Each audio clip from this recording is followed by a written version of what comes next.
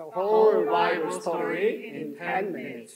In between BC and AD, Jesus Christ is born in Bethlehem to the supreme delight of angels and shepherds. God's story is the story of life and our life story. Amen. Thank you.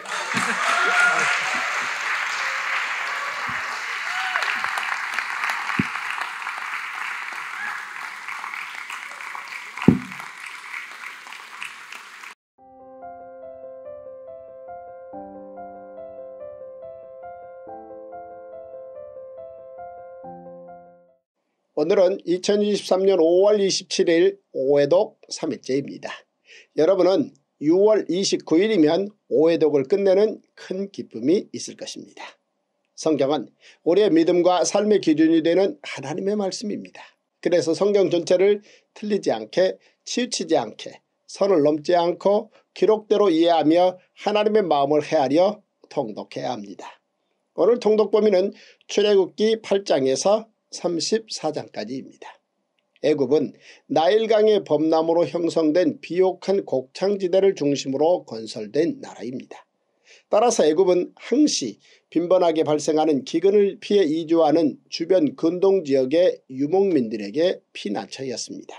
애굽은 나일강을 그들의 운명을 좌우하는 생명의 젖줄로 여겨왔습니다.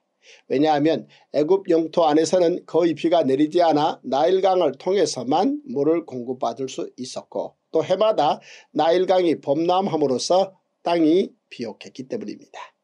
헤로도토스는 일찍이 이집트는 나일강의 선물이라고 말했는데 이 말은 수천 년이 지난 지금도 이집트를 한마디로 정의한 가장 대표적인 말입니다. 자 이제 오늘의 말씀 출애굽기 8장에서 34장을 통독하겠습니다. 구독과 좋아요 눌러주시고 오늘도 성경 속 기적이 여러분 삶의 기적이 되시기를 간절히 기도합니다. 제21일 출애굽기 8장 여호와께서 모세에게 이르시되 너는 바로에게 가서 그에게 이르기를 여호와의 말씀에 내 백성을 보내라 그들이 나를 섬길 것이니라 내가 만일 보내기를 거절하면 내가 개구리로 너의 온 땅을 치리라 개구리가 나일강에서 무수히 생기고 올라와서 내 궁과 내 침실과 내 침상 위와 내 신하의 집과 내 백성과 내 화덕과 내 떡반죽 그릇에 들어갈 것이며 개구리가 너와 내 백성과 내 모든 신하에게 기어오르리라 하셨다 하라. 여호와께서 모세에게 이르시되 아론에게 명령하기를 내 지팡이를 잡고 내 팔을 강들과 운하들과 못 위에 펴서 개구리들이 애굽 땅에 올라오게 하라 할지니라. 아론이 애굽 물들 위에 그의 손을 내밀매 개구리가 올라와서 애굽 땅에 덮이니 요 요술사들도 자기 요술대로 그와 같이 행하여 개구리가 애굽 땅에 올라오게 하였더라. 바로가 모세와 아론을 불러 이르되 여호와께 구하여 나와 내 백성에게서 개구리를 떠나게 하라. 내가 이 백성을 보내리니 그들이 여호와께 제사를 드릴 것이니라. 모세가 바로에게 이르되 내가 왕과 왕의 신하와 왕의 백성을 위하여 이 개구리를 왕과 왕궁에서 끊어 나일강에만 있도록 언제 강구하는 것이 좋을는지 내게 분부하소서. 그가 이르되 내일이니라. 모세가 이르되 왕의 말씀대로 하여 왕에게 우리 하나님 여호와와 같은 이가 없는 줄을 알게 하리니 개구리가 왕과 왕궁과 왕의 신하와 왕의 백성을 떠나서 나일 강에만 있으리이다 하고 모세와 아론이 바로를 떠나 나가서 바로에게 내리신 개구리에 대하여 모세가 여호와께 간구하며 여호와께서 모세의 말대로 하시니 개구리가 집과 마당과 밭에서부터 나와서 죽은지라 사람들이 모아 무더기로 쌓으니 땅에서 악취가 나더라. 그러나 바로가 숨을 쉴 수 있게 됨을 보았을 때에 그의 마음을 완강하게 하여 그들의 말을 듣지 아니하였으니 여호와께서 말씀하신 것과 같더라. 여호와께서 모세에게 이르시되 아론에게 명령하기를 내 지팡이를 들어 땅에 티끌을 치라 하라. 그것이 애굽 온 땅에서 이가 되리라.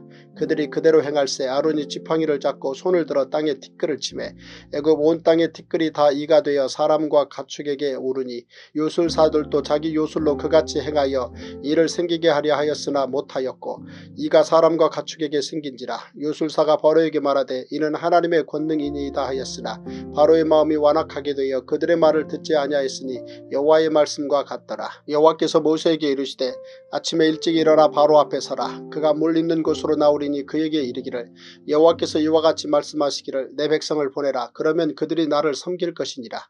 내가 만일 내 백성을 보내지 아니하면 내가 너와 내 신하와 내 백성과 내 집들의 파리떼를 보내리니 애굽 사람의 집집에 파리떼가 가득할 것이며 그들이 사는 땅에도 그러하리라. 그날에 나는 내 백성이 거주하는 고센 땅을 구별하여 그곳에는 파리가 없게 하리니 이로 말미암아 이 땅에서 내가 여호와의 인주를 내가 알게 될 것이라. 내가 내 백성과 내 백성 사이를 구별하리니 내일 이 표징이 있으리라 하셨다 하라 하시고 여호와께서 그와 같이 하시니 무수한 파리가 바로의 궁과 그의 신하의 집과 애굽 온 땅에 이르니 파리로 말미암아 그 땅이 황폐하였더라. 바로가 모세와 아론을 불러 이르되 너희는 가서 이 땅에서 너희 하나님께 제사를 드리라. 모세가 이르되 그리함은 부당하니이다. 우리가 우리 하나님 여호와께 제사를 드리는 것은 애굽 사람이 싫어하는 바인즉 우리가 만일 애굽 사람의 목전에서 제사를 드리면 그들이 그것을 미워하여 우리를 돌로 치지 아니하리이까. 우리가 사흘 길쯤 광야로 들어가서 우리 하나님 여호와께 제사를 드리되 우리에게 명령하시는 대로 하려 하나이다. 바로가 이르되 내가 너희를 보내리니 너희가 너희의 하나님 여호와께 광야에서 제사를 드릴 것이다. 너무 멀리 가지는 말라. 그런즉 너희는 나를 위하여 간구하라. 모세가 이르되 내가 왕을 떠나가서 여호와께 간구하리니 내일이면 파리때가 바로와 바로의 신하와 바로의 백성을 떠나려니와 바로는 이 백성을 보내어 여호와께 제사를 드리는 일에 다시 거짓을 행하지 마소서 하고 모세가 바로를 떠나 나와서 여호와께 간구하니 여호와께서 모세의 말대로 하시니 그 파리때가 바로와 그의 신하와 그의 백성에게서 떠나니 하나도 남지 아니하였더라. 그러나 바로가 이때에도 그의 마음을 완강하게 하여 그 백성을 보내지 아니하였더라.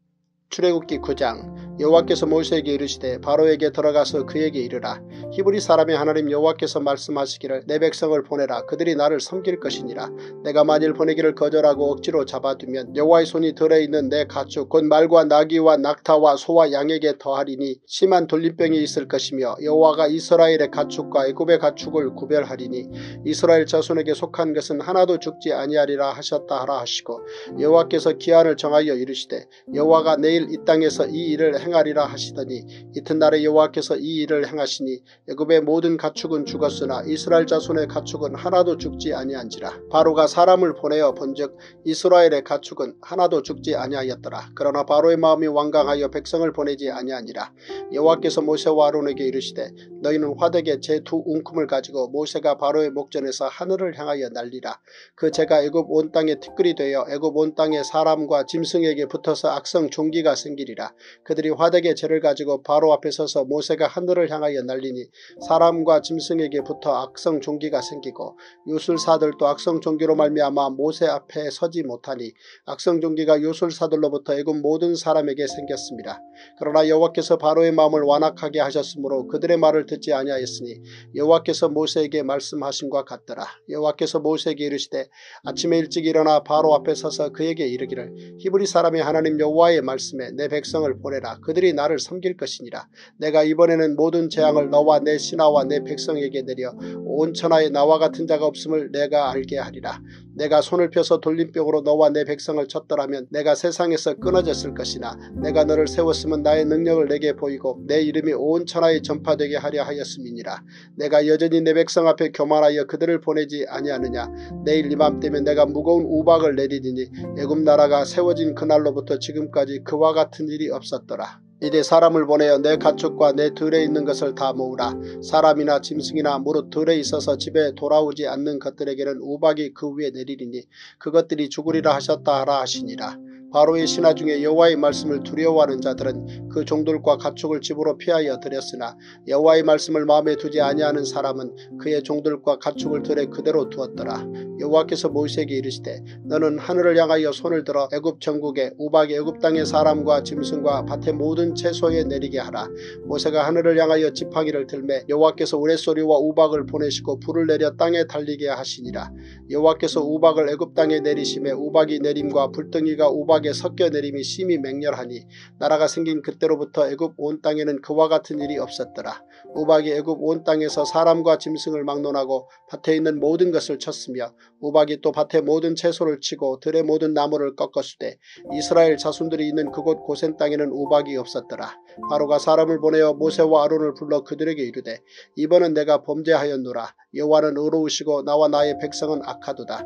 여호와께 구하여 이 우레소리와 우박을 그만 그치게 하라. 내가 너희를 보내리니 너희가 다시는 머물지 아니하리라. 모세가 그에게 이르되 내가 성에서 나가서 곧 내 손을 여호와를 향하여 펴리니 그리하면 우레소리가 그치고 우박이 다시 있지 아니할지라. 세상이 여호와께 속한 줄을 왕이 알리이다. 그러나 왕과 왕의 신하들이 여호와 하나님을 아직도 두려워하지 아니할 할 줄을 내가 아나이다. 그때 보리는 이삭이 나왔고 삼은 꽃이 피었으므로 삼과 보리가 상하였으나 그러나 밀과 쌀보리는 자라지 아니한 고로 상하지 아니하였더라.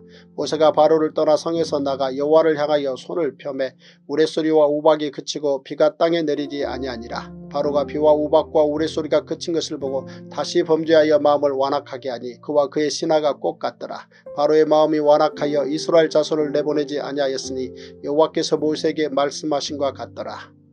출애굽기 10장 여호와께서 모세에게 이르시되 바로에게로 들어가라. 내가 그의 마음과 그의 신하들의 마음을 완강하게 함은 나의 표징을 그들 중에 보이기 위함이며 내게 내가 애굽에서 행한 일들 곧 내가 그들 가운데서 행한 표징을 내 아들과 내 자손의 귀에 전하기 위함이라. 너희는 내가 여호와인 줄을 알리라. 모세와 아론이 바로에게 들어가서 그에게 이르되 히브리 사람의 하나님 여호와께서 말씀하시기를 내가 어느 때까지 내 앞에 겸비하지 아니하겠느냐 내 백성을 보내라 그들이 나를 섬길 것이라. 내가 만일 내 백성 보내기를 거절하면 내일 내가 메뚜기를 내 경내에 들어가게 하리니 메뚜기가 지면을 덮어서 사람이 땅을 볼 수 없을 것이라. 메뚜기가 내게 남은 그것 곧 우박을 면하고 남은 것을 먹으며 너희를 위하여 들에서 자라나는 모든 나무를 먹을 것이며 또 내 집들과 내 모든 신하의 집들과 모든 애굽 사람의 집들에 가득하리니 이는 내 아버지와 내 조상이 이 땅에 있었던 그날로부터 오늘까지 보지 못하였던 것이리라 하셨다 하고 돌이켜 바로에게서 나오니 바로의 신하들이 그에게 말하되 어느 때까지 이 사람이 우리의 함정이 되리이까? 그 사람들을 보내어 그들의 하나님 여호와를 섬기게 하소서. 왕은 아직도 애굽이 망한 줄을 알지 못하시나 이까 하고 모세와 아론을 바로에게로 다시 데려오니 바로가 그들에게 이르되 가서 너희 하나님 여호와를 섬기라. 갈 자는 누구누구냐? 모세가 이르되 우리가 여호와 앞에 절기를 지킬 것인즉 우리가 남녀노소와 양과 소를 데리고 가겠나이다. 바로가 그들에게 이르되 내가 너희와 너희의 어린 아이들을 보내면 여호와가 너희와 함께함과 같으니라. 보라 그것이 너희에게는 나쁜 것이니라. 그렇게 하지 말고 너희 장정만 가서 여호와를 섬기라. 이것이 너희가 구하는 바니라. 이에 그들이 바로 앞에서 쫓겨나니라. 여호와께서 모세에게 이르시되 애굽 땅 위에 내 손을 내밀어 메뚜기를 애굽 땅에 올라오게 하여 우박에 상하지 아니한 밭의 모든 채소를 먹게 하라. 모세가 애굽 땅 위에 그 지팡이를 들매 여호와께서 동풍을 일으켜 온 낮과 온 밤에 불게 하시니 아침이 되매 동풍이 메뚜기를 불어들인지라. 메뚜기가 애굽 온 땅에 이르러 그 사방에 내리매 그 피해가 심하니 이런 메뚜기는 전에도 없었고 후에도 없을 것이라. 메뚜기가 온 땅을 덮어 땅이 어둡게 되었으며 메뚜기가 우박에 상하지 아니한 밭의 채소와 나무 열매를 다 먹었으므로 애굽 온 땅 에서 나무나 밭의 채소나 푸른 것은 남지 아니하였더라. 바로가 모세와 아론을 급히 불러 이르되 내가 너희의 하나님 여호와와 너희에게 죄를 지었으니 바라건대 이번만 나의 죄를 용서하고 너희의 하나님 여호와께 구하여 이 죽음만은 내게서 떠나게 하라. 그가 바로에게서 나가서 여호와께 구하매 여호와께서 돌이켜 강렬한 서풍을 불게 하사 메뚜기를 홍해에 몰아 넣으시니 애굽 온 땅에 메뚜기가 하나도 남지 아니하니라. 그러나 여호와께서 바로의 마음을 완악하게 하셨으므로 이스라엘 자손을 보내지 아니하였더라. 여호와께서 모세에게 이르시되 하늘을 향하여 내 손을 내밀어 애굽 땅 위에 흑암이 있게 하라. 곧 더듬을 만한 흑암이니라. 모세가 하늘을 향하여 손을 내밀매 캄캄한 흑암이 3일 동안 애굽 온 땅에 있어서 그동안은 사람들이 서로 볼 수 없으며 자기 처소에서 일어나는 자가 없으되 온 이스라엘 자손들이 거주하는 곳에는 빛이 있었더라. 바로가 모세를 불러서 이르되 너희는 가서 여호와를 섬기되 너희의 양과 소는 머물러 두고 너희 어린 것들은 너희와 함께 갈지니라. 모세가 이르되 왕이라도 우리 하나님 여호와께 드릴 제사와 번제물을 우리에게 주어야 하겠고 우리의 가축도 우리와 함께 가고 한 마리도 남길 수 없으니 이는 우리가 그 중에서 가져다가 우리 하나님 여호와를 섬길 것임이며 또 우리가 거기에 이르기까지는 어떤 것으로 여호와를 섬길는지 알지 못함이니이다 하나 여호와께서 바로의 마음을 완악하게 하셨으므로 그들 보내기를 기뻐하지 아니하고 바로가 모세에게 이르되 너는 나를 떠나가고 스스로 삼가 다시 내 얼굴을 보지 말라 내가 내 얼굴을 보는 날에는 죽으리라. 모세가 이르되 당신이 말씀하신 대로 내가 다시는 당신의 얼굴을 보지 아니하리이다. 제22일 출애굽기 11장. 여호와께서 모세에게 이르시기를 내가 이제 한 가지 재앙을 바로와 애굽에 내린 후에야 그가 너희를 여기서 내보내리라. 그가 너희를 내보낼 때에는 여기서 반드시 다 쫓아내리니 백성에게 말하여 사람들에게 각기 이웃들에게 은금 패물을 구하게 하라 하시더니 여호와께서 그 백성으로 애굽 사람의 은혜를 받게 하셨고 또 그 사람 모세는 애굽 땅에 있는 바로의 신하와 백성의 눈에 아주 위대하게 보였더라.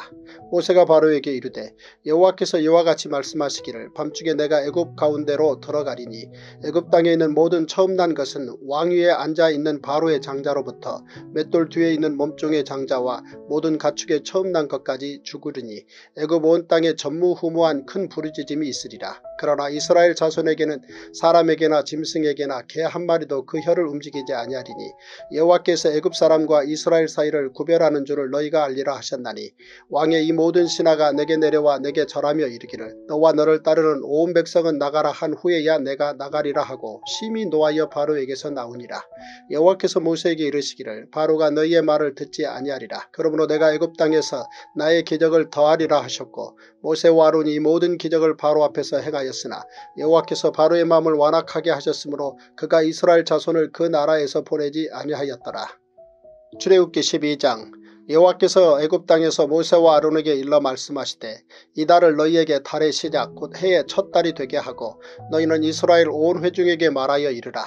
이 달 열흘에 너희 각자가 어린 양을 취할지니 각 가족대로 그 식구를 위하여 어린 양을 취하되 그 어린 양에 대하여 식구가 너무 적으면 그 집의 이웃과 함께 사람 수를 따라서 하나를 취하며 각 사람이 먹을 수 있는 분량에 따라서 너희 어린 양을 계산할 것이며 너희 어린 양은 흠없고 일련된 수컷으로 하되 양이나 염소 중에서 취하고 이달 열나흔 날까지 간직하였다가 해질 때 이스라엘 회중이 그 양을 잡고 그 피를 양을 먹을 집 좌우 문설주와 임방에 바르고 그 밤에 그 고기를 불에 구워 무교병과 쓴 나물과 아울러 먹되 날것으로나 모래 삶아서 먹지 말고 머리와 다리와 내장을 다 불에 구워 먹고 아침까지 남겨두지 말며 아침까지 남은 것은 곧 불사르라.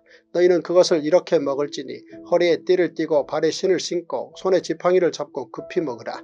이것이 여호와의 유월절이니라. 내가 그 밤에 애굽 땅에 두루 다니며 사람이나 짐승을 막론하고 애굽 땅에 있는 모든 처음 난 것을 다 치고 애굽의 모든 신을 내가 심판하리라. 나는 여호와라. 내가 애굽 땅을 칠 때에 그 피가 너희가 사는 집에 있어서 너희를 위하여 표적이 될지라. 내가 피를 볼 때에 너희를 넘어가리니 재앙이 너희에게 내려 멸하지 아니하리라. 너희는 이 날을 기념하여 여호와의 절기를 삼아 영원한 규례로 대대로 지킬지니라. 너희는 이래 동안 무교병을 먹을지니 그 첫날에 누룩을 너희 집에서 제하라. 무릇 첫날부터 일곱째 날까지 유교병을 먹는 자는 이스라엘에서 끊어지리라. 너희에게 첫날에도 성회요 일곱째 날에도 성회가 되리니 너희는 이 두 날에는 아무 일도 하지 말고 각자의 먹을 것만 갖출 것이니라. 너희는 무교절을 지키라. 이날에 내가 너희 군대를 애굽 땅에서 인도하여 내었음이니라. 그러므로 너희가 영원한 규례로 삼아 대대로 이날을 지킬지니라. 첫째 달 그 달 열나흔 날 저녁부터 21일 저녁까지 너희는 무교병을 먹을 것이요. 이래 동안은 누룩이 너희 집에서 발견되지 아니하도록 하라. 무릇 유교물을 먹는 자는 타국인이든지 본국에서 난 자든지를 막론하고 이스라엘 회중에서 끊어지리니 너희는 아무 유교물이든지 먹지 말고 너희 모든 유하는 곳에서 무교병을 먹을지니라. 모세가 이스라엘 모든 장로 를 불러서 그들에게 이르되 너희는 나가서 너희의 가족대로 어린 양을 택하여 유월절 양으로 잡고 우술초 묶음을 가져다가 그릇에 담은 피에 적셔서 그 피를 문 인방과 좌우 설주에 뿌리고 아침까지 한 사람도 자기 집 문 밖에 나가지 말라. 여호와께서 애굽 사람들에게 재앙을 내리려고 지나가실 때에 문 인방과 좌우 문 설주의 피를 보시면 여호와께서 그 문을 넘으시고 멸하는 자에게 너희 집에 들어가서 너희를 치지 못하게 하실 것임이니라. 너희는 이 일을 규례로 삼아 너희와 너희 자손이 영원히 지킬 것이니 너희는 여호와께서 허락하신 대로 너희에게 주시는 땅에 이를 때에 이 예식을 지킬 것이라. 이후에 너희의 자녀가 묻기를 이 예식이 무슨 뜻이냐 하거든 너희는 이르기를 이는 여호와의 유월절 제사라. 여호와께서 애굽 사람에게 재앙을 내리실 때에 애굽에 있는 이스라엘 자손의 집을 넘으사 우리의 집을 구원하셨느니라 하라 하매 백성이 머리 숙여 경배하니라. 이스라엘 자손이 물러가서 그대로 행하되 여호와께서 모세와 아론에게 명령하신 대로 행하니라. 밤중에 여호와께서 애굽 땅에서 모든 처음 난 것 곧 왕위에 앉은 바로의 장자로부터 옥에 갇힌 사람의 장자까지와 가축의 처음 난 것을 다 치심해 그 밤에 바로와 그 모든 신하와 모든 애굽 사람이 일어나고 애굽에 큰 부르짖음이 있었으니 이는 그 나라에 죽임을 당하지 아니한 집이 하나도 없었음이었더라. 밤에 바로가 모세와 아론을 불러서 이르되 너희와 이스라엘 자손은 일어나 내 백성 가운데에서 떠나 너희의 말대로 가서 여호와를 섬기며 너희가 말한 대로 너희 양과 너희 소도 몰아가고 나를 위하여 축복하라 하며 애굽 사람들은 말하기를 우리가 다 죽은 자가 되도다 하고 그 백성을 재촉하여 그 땅에서 속히 내보내려 하므로 그 백성이 발교되지 못한 반죽 담은 그릇을 옷에 싸서 어깨에 매니라. 이스라엘 자손이 모세의 말대로 하여 애굽 사람에게 은금 패물과 의복을 구하며 여호와께서 애굽 사람들에게 이스라엘 백성에게 은혜를 입히게 하사 그들이 구하는 대로 주게 하시므로 그들이 애굽 사람의 물품을 취하였더라. 이스라엘 자손이 람셋을 떠나서 숲곳에 이르니 유아 외에 보행하는 장정이 60만 가량이요 수많은 잡족과 양과 소와 심이 많은 가축이 그들과 함께 하였으며 그들이 애굽으로부터 가지고 나온 발교되지 못한 반죽으로 무교병을 구웠으니 이는 그들의 애굽에서 쫓겨남으로 지체할 수 없었음이며 아무 양식도 준비하지 못하였음이었더라. 이스라엘 자손이 애굽에 거주한 지 430년이라 430년이 끝나는 그날에 여호와의 군대가 다 애굽 땅에서 나왔은즉 이 밤은 그들을 애굽 땅에서 인도하여 내심으로 말미암아 여호와 앞에 지킬 것이니 이는 여호와의 밤이라 이스라엘 자손이 다 대대로 지킬 것이니라. 여호와께서 모세와 아론에게 이르시되 유월절 규례는 이러하니라. 이방 사람은 먹지 못할 것이나 각 사람이 돈으로 산 종은 할례를 받은 후에 먹을 것이며 거류인과 타국 품꾼은 먹지 못하리라 한 집에서 먹되 그 고기를 조금도 집 밖으로 내지 말고 뼈도 꺾지 말지며 이스라엘 회중이 다 이것을 지킬지니라. 너희와 함께 거류하는 타국인이 여호와의 유월절을 지키고자 하거든 그 모든 남자는 할례를 받은 후에야 가까이 하여 지킬지니 곧 그는 본토인과 같이 될 것이나 할례 받지 못한 자는 먹지 못할 것이니라. 본토인에게나 너희 중에 거류하는 이방인에게 이 법이 동일하니라 하셨으므로 온 이스라엘 자손이 이와 같이 행하되 여호와께서 모세와 아론에게 명령하신 대로 행하였으며 바로 그 날에 여호와께서 이스라엘 자손을 그 무리대로 애굽 땅에서 인도하여 내셨더라. 출애굽기 13장 여호와께서 모세에게 일러 이르시되 이스라엘 자손 중에서 사람이나 짐승을 막론하고 태에서 처음 난 모든 것은 다 거룩히 구별하여 내게 돌리라 이는 내 것이니라 하시니라. 모세가 백성에게 이르되 너희는 애굽 곧 종되었던 집에서 나온 그날을 기념하여 유교병을 먹지 말라. 여호와께서 그 손의 권능으로 너희를 그곳에서 인도해 내셨음이니라. 아비벌 이날에 너희가 나왔으니 여호와께서 너를 인도하여 가나안 사람과 햇 사람과 아모리 사람과 히위 사람과 여부수 사람의 땅 곧 내게 주 시려고 내 조상들에게 맹세하신 바 적과 꿀이 흐르는 땅에 이르게 하시거든 너는 이달에 이 예식을 지켜 이래 동안 무교병을 먹고 일곱째 날에는 여호와께 절기를 지키라. 이래 동안에는 무교병을 먹고 유교병을 내게 보이지 아니하게 하며 내 땅에서 누룩을 내게 보이지 아니하게 하라. 너는 그날에 내 아들에게 보여 이르기를 이 예식은 내가 애굽에서 나올 때에 여호와께서 나를 위하여 행하신 일로 말미암음이라 하고 이것으로 내 손의 기호와 내 미간의 표를 삼고 여호와의 율법이 내 입에 있게 하라. 이는 여호와께서 강하신 손으로 너를 애굽에서 인도하여 내셨음이니 해마다 절기가 되면 이 규례를 지킬지니라. 여호와께서 너와 내 조상에게 맹세하신 대로 너를 가나안 사람의 땅에 인도하시고 그 땅을 내게 주시거든 너는 태에서 처음 난 모든 것과 내게 있는 가축의 태에서 처음 난 것을 다 구별하여 여호와께 돌리라. 수컷은 여호와의 것이니라. 나귀의 첫 새끼는 다 어린 양으로 대속할 것이요 그렇게 하지 아니하려면 그 목을 꺾을 것이며 내 아들 중 처음 난 모든 자는 대속할지니라. 후일에 내 아들이 내게 묻기를 이것이 어찌 됨이냐 하거든 너는 그에게 이르기를 여호와께서 그 손의 권능으로 우리를 애굽에서 곧 종이 되었던 집에서 인도하여 내실세 그때 바로가 완악하여 우리를 보내지 아니하매 여호와께서 애굽 나라 가운데 처음 난 모든 것은 사람의 장자로부터 가축의 처음 난 것까지 다 죽이셨으므로 태에서 처음 난 모든 수컷들은 내가 여호와께 제사를 드려서 내 아들 중에 모든 처음 난 자를 다 대속하리니 이것이 내 손의 기호와 내 미간의 표가 되리라. 이는 여호와께서 그 손의 권능으로 우리를 애굽에서 인도하여 내셨음이니라 할지니라. 바로가 백성을 보낸 후에 블레셋 사람의 땅의 길은 가까울지라도 하나님이 그들을 그 길로 인도하지 아니하셨으니 이는 하나님이 말씀하시기를 이 백성이 전쟁을 하게 되면 마음을 돌이켜 애굽으로 돌아갈까 하셨습니다. 그러므로 하나님이 홍해의 광야길로 돌려 백성을 인도하심에 이스라엘 자손이 애굽 땅에서 대열을 지어 나올 때에 모세가 요셉의 유고를 가졌으니 이는 요셉이 이스라엘 자손으로 단단히 맹세하게 하여 이르기를 하나님이 반드시 너희를 찾아오시리니 너희는 내 유고를 여기서 가지고 나가라 하였음이더라. 그들이 숲곳을 떠나서 광야 끝 에담에 장막을 치니 여호와께서 그들 앞에서 가시며 낮에는 구름 기둥으로 그들의 길을 인도하시고 밤에는 불 기둥을 그들에게 비추사 낮이나 밤이나 진행하게 하시 니 낮에는 구름기둥 밤에는 불기둥이 백성 앞에서 떠나지 아니하니라. 제23일 출애굽기 14장 여호와께서 모세에게 말씀하여 이르시되 이스라엘 자손에게 명령하여 돌이켜 바다와 믹돌 사이에 비하히롯 앞 곧 바알스본 맞은편 바닷가에 장막을 치게 하라. 바로가 이스라엘 자손에 대하여 말하기를 그들이 그 땅에서 멀리 떠나 광야에 갇힌 바 되었다 하리라. 내가 바로의 마음을 완악하게 한즉 바로가 그들의 뒤를 따르리니 내가 그와 그의 온 군대로 말미암아 영광을 얻어 애굽 사람들이 나를 여호와인 줄 알게 하리라 하심에 우리가 그대로 행하니라. 그 백성이 도망한 사실이 애굽 왕에게 알려짐에 바로와 그의 신하들이 그 백성에 대하여 마음이 변하여 이르되 우리가 어찌같이 하여 이스라엘을 우리를 섬김에서 놓아 보내었는가 하고 바로가 곧 그의 병거를 갖추고 그의 백성을 데리고 갈새 선발된 병거 600대와 애굽의 모든 병거를 동원하니 주관들이 다 거느렸더라. 여호와께서 애굽왕 바로의 마음을 완악하게 하셨으므로 그가 이스라엘 자손의 뒤를 따르니 이스라엘 자손이 담대히 나갔습니다. 애굽 사람들과 바로의 말들 병거들과 그 마병과 그 군대가 그들의 뒤를 따라 바알스본 맞은편 비아히롯 곁 해변 그들이 장막친 데에 미치니라. 바로가 가까이 올 때 이스라엘 자손이 눈을 들어본 적 애굽 사람들이 자기들 뒤에 이른지라. 이스라엘 자손이 심히 두려워하여 여호와께 부르짖고 그들이 또 모세에게 이르되 애굽에 매장지가 없어서 당신이 우리를 이끌어내어 이 광야에서 죽게 하느냐 어찌하여 당신이 우리를 애굽에서 이끌어내어 우리에게 이같이 하느냐?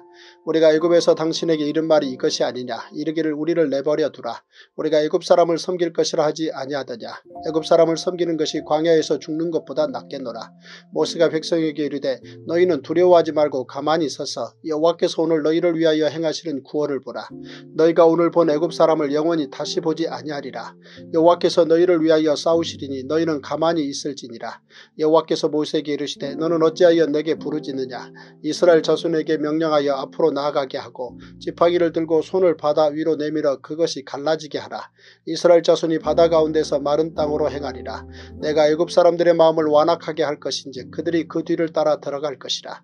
내가 바로와 그의 모든 군대와 그의 병거와 마병으로 말미암아 영광을 얻으리니 내가 바로와 그의 병거와 마병으로 말미암아 영광을 얻을 때이야 애굽 사람들이 나를 여호와인 줄 알리라 하시더니 이스라엘 진 앞에 가던 하나님의 사자가 그들의 뒤로 옮겨가매 구름 기둥도 앞에서 그 뒤로 옮겨 애굽 진과 이스라엘 진 사이에 이르러 서니 저쪽에는 구름과 흑암이 있고 이쪽에는 밤이 밝음으로 밤새도록 저쪽이 이쪽에 가까이 못하였더라. 모세가 바다 위로 손을 내밀매 여호와께서 큰 동풍이 밤새도록 바닷물을 물러가게 하시니 물이 갈라져 바다가 마른 땅이 된지라. 이스라엘 자손이 바다 가운데를 육지로 걸어가고 물은 그들의 좌우에 벽이 되니 애굽 사람들과 바로의 말들 병거들과 그 마병들이 다 그들의 뒤를 추격하여 바다 가운데로 들어오는지라 새벽에 여호와께서 불과 구름 기둥 가운데에서 애굽 군대를 보시고 애굽 군대를 어지럽게 하시며 그들의 병거 바퀴를 벗겨서 달리기가 어렵게 하시니 애굽 사람들이 이르되 이스라엘 앞에서 우리가 도망하자 여호와가 그들을 위하여 싸워 애굽 사람들을 치는도다. 여호와께서 모세에게 이르시되 내 손을 바다 위로 내밀어 물이 애굽 사람들과 그들의 병거들과 마병들 위에 다시 흐르게 하라 하시니 모세가 곧 손을 바다 위로 내밀매 새벽이 되어 바다의 힘이 회복된지라. 애굽 사람들이 물을 거슬러 도망하나 여호와께서 애굽 사람들을 바다 가운데 엎으시니 물이 다시 흘러 병거들과 기병들을 덮되 그들의 뒤를 따라 바다에 들어간 바로의 군대를 다 덮으니 하나도 남지 아니하였더라. 그러나 이스라엘 자손은 바다 가운데를 육지로 행하였고 물이 좌우의 벽이 되었더라. 그날에 여호와께서 이같이 이스라엘을 애굽 사람의 손에서 구원하시매 이스라엘이 바닷가에서 애굽 사람들이 죽어 있는 것을 보았더라. 이스라엘이 여호와께서 애굽 사람들에게 행하신 그 큰 능력을 보았으므로 백성이 여호와를 경외하며 여호와와 그의 종 모세를 믿었더라. 출애굽기 15장 이때 모세와 이스라엘 자손이 이 노래로 여호와께 노래하니 일렀으되 내가 여호와를 찬송하리니 그는 높고 영화로우시며 말과 그 탄자를 바다에 던지셨음이로다. 여호와는 나의 힘이요 노래시며 나의 구원이시로다. 그는 나의 하나님이시니 내가 그를 찬송할 것이요 내 아버지의 하나님이시니 내가 그를 높이리로다. 여호와는 용사시니 여호와는 그의 이름이시로다. 그가 바로의 병거와 그의 군대를 바다에 던지시니 최고의 주의관들이 홍해에 잠겼고 깊은 물이 그들을 덮으니 그들이 돌처럼 깊음 속에 가라앉았도다. 여호와여 주의 오른손이 권능으로 영광을 나타내시니이다. 여호와여 주의 오른손이 원수를 부수시니이다. 주께서 주의 큰 위엄으로 주를 거스르는 자를 엎으시니이다. 주께서 진노를 바라시니 그 진노가 그들을 지푸라기같이 사르니이다. 주의 콧김에 물이 쌓유되 파도가 언덕같이 일어서고 큰 물이 바다 가운데 엉기니이다. 원수가 말하기를 내가 뒤쫓아 따라잡아 탈취물을 나누리라. 내가 그들로 말미암아 내 욕망을 채우리라. 내가 내 칼을 빼리니 내 손이 그들을 멸하리라 하였으나 주께서 바람을 일으키심에 바다가 그들을 덮으니 그들이 거센 물에 납같이 잠겼나이다. 여호와여 신중에 주와 같은 자가 누구니이까 주와 같이 거룩함으로 영광스러우며 찬송할 만한 위엄이 있으며 기이한 일을 행하는 자가 누구니이까 주께서 오른손을 드신즉 땅이 그들을 삼켰나이다. 주의 인자하심으로 주께서 구속하신 백성을 인도하시되 주의 힘으로 그들을 주의 거룩한 처소에 들어가게 하시나이다. 여러 나라가 듣고 떨며 블레셋 주민이 두려움에 잡히며 에돔 두령들이 놀라고 모압 영웅이 떨림에 잡히며 가나안 주민이 다 낙담하나이다. 놀람과 두려움이 그들에게 임함에 주의 팔이 크므로 그들이 돌같이 침묵하였사오니 여호와여 주의 백성이 통과하기까지 곧 주께서 사신 백성이 통과하기까지였나이다. 주께서 백성을 인도하사 그들을 주의 기업의 산에 심으시리이다. 여호와여 이는 주의 처소를 삼으시려고 예비하신 것이라. 주여 이것이 주의 손으로 세우신 성소로소이다. 여호와께서 영원 무궁하도록 다스리시도다 하였더라. 바로의 말과 병거와 마병이 함께 바다에 들어가매 여호와께서 바닷물을 그들 위에 되돌려 흐르게 하셨으나 이스라엘 자손은 바다 가운데서 마른 땅으로 지나간지라. 아론의 누이 선지자 미리암이 손에 소고를 잡음에 모든 여인도 그를 따라 나오며 소고를 잡고 춤추니 미리암이 그들에게 화답하여 이르되 너희는 여호와를 찬송하라 그는 높고 영화로우시며 말과 그 탄자를 바다에 던지셨음이로다 하였더라.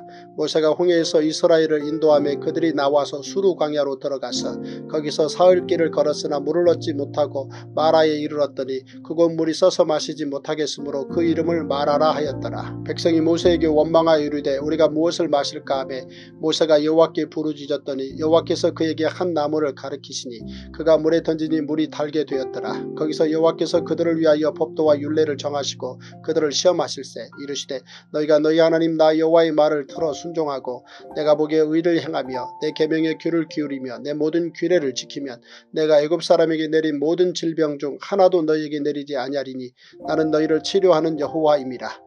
그들이 엘림에 이르니 거기에 물샘 열둘과 중요나무 이른 구루가 있는지라 거기서 그들이 그 물 곁에 장막을 치니라.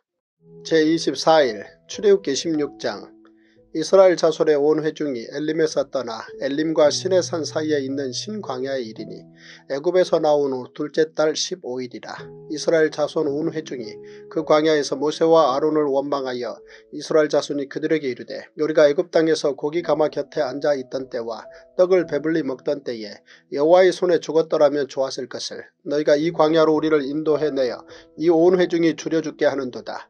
그때 여호와께서 모세에게 이르시되 보라 내가 너희를 위하여 하늘에서 양식을 비같이 내리리니 백성이 나가서 일용할 것을 날마다 거둘 것이라. 이같이 하여 그들이 내 율법을 준행하나 아니하나 내가 시험하리라. 여섯째 날에는 그들이 그 거둔 것을 준비할지니 날마다 거두던 것에 갑절이 되리라. 모세와 아론이 온 이스라엘 자손에게 이르되 저녁이 되면 너희가 여호와께서 너희를 애굽 땅에서 인도하여 내셨음을 알 것이요. 아침에는 너희가 여호와의 영광을 보리니 이는 여호와께서 너희가 자기를 향하여 원망함을 들으셨습니다. 우리가 누구이기에 너희가 우리에게 대하여 원망하느냐. 모세가 또 이르되 여호와께서 저녁에는 너희에게 고기를 주어 먹이시고 아침에는 떡으로 배불리시리니 이는 여호와께서 자기를 향하여 너희가 원망하는 그 말을 들으셨습니다. 우리가 누구냐 너희의 원망은 우리를 향하여 함이 아니요 여호와를 향하여 함이로다. 모세가 또 아론에게 이르되 이스라엘 자손의 온 회중에게 말하기를 여호와께 가까이 나아오라 여호와께서 너희의 원망함을 들으셨느니라 하라. 아론이 이스라엘 자손의 온 회중에게 말하매 그들이 광야를 바라보니 여호와의 영광이 구름 속에 나타나더라. 여호와께서 모세에게 말씀하여 이르시되 내가 이스라엘 자손의 원망함을 들었노라. 그들에게 말하여 이르기를 너희가 해질 때에는 고기를 먹고 아침에는 떡으로 배부르리니 내가 여호와 너희의 하나님인 줄 알리라 하라 하시니라.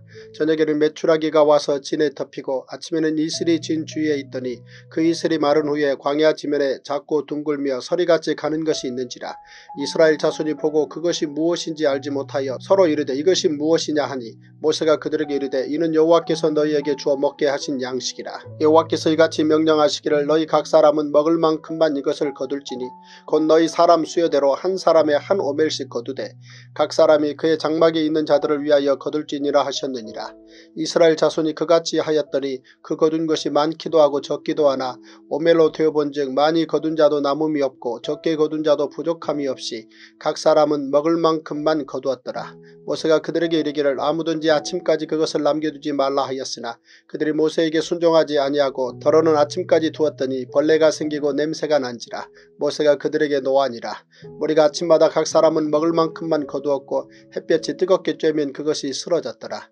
여섯째 날에는 각 사람이 갑절의 식물 곧 하나에 두 오멜씩 거둔지라.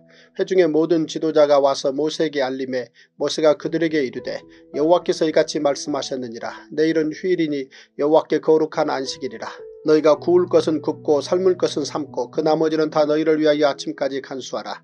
그들이 모세의 명령대로 아침까지 간수하였으나 냄새도 나지 아니하고 벌레도 생기지 아니한지라. 모세가 이르되 오늘은 그것을 먹으라. 오늘은 여호와의 안식일인즉 오늘은 너희가 들에서 그것을 얻지 못하리라. 엿새 동안은 너희가 그것을 거두되 일곱째 날은 안식일인즉 그날에는 없으리라 하였으나 일곱째 날에 백성 중 어떤 사람들이 거두러 나갔다가 얻지 못하니라. 여호와께서 모세에게 이르시되 어느 때까지 너희가 내 계명과 내 율법을 지키지 아니하려느냐. 볼지어다 여호와가 너희에게 안식일을 주므로 여섯째 날에는 이틀 양식을 너희에게 주는 것이니 너희는 각기 처소에 있고 일곱째 날에는 아무도 그의 처소에서 나오지 말지니라. 그러므로 백성이 일곱째 날에 안식하니라. 이스라엘 족속이 그 이름을 만나라 하였으며 가시같이 희고 맛은 꿀 섞은 과자 같았더라. 모세가 이르되 여호와께서 이같이 명령하시기를 이것을 오멜에 채워서 너희의 대대 후손을 위하여 간수하라. 이는 내가 너희를 애굽 땅에서 인도하여 낼 때에 광야에서 너희에게 먹인 양식을 그들에게 보이기 위함이니라 하셨다 하고 또 모세가 아론에게 이르되 항아리를 가져다가 그 속에 만나 한 오매를 담아 여호와 앞에 두어 너희 대대로 간수하라. 아론이 여호와께서 모세에게 명령하신 대로 그것을 증거판 앞에 두어 간수하게 하였고 사람이 사는 땅에 이르기까지 이스라엘 자손이 40년 동안 만나를 먹었으니 곧 가나안 땅 접경에 이르기까지 그들이 만나를 먹었더라. 오멜은 10분의 1 에바이더라. 출애굽기 17장 이스라엘 자손의 온 회중이 여호와의 명령대로 신광야에 있었더나 그 노정대로 행하여 리비딤의 장막을 쳤으나 백성이 마실 물이 없는지라. 백성이 모세와 다투어 이르되 우리에게 물을 주어 마시게 하라. 모세가 그들에게 이르되 너희가 어찌하여 나와 다투느냐? 너희가 어찌하여 여호와를 시험하느냐?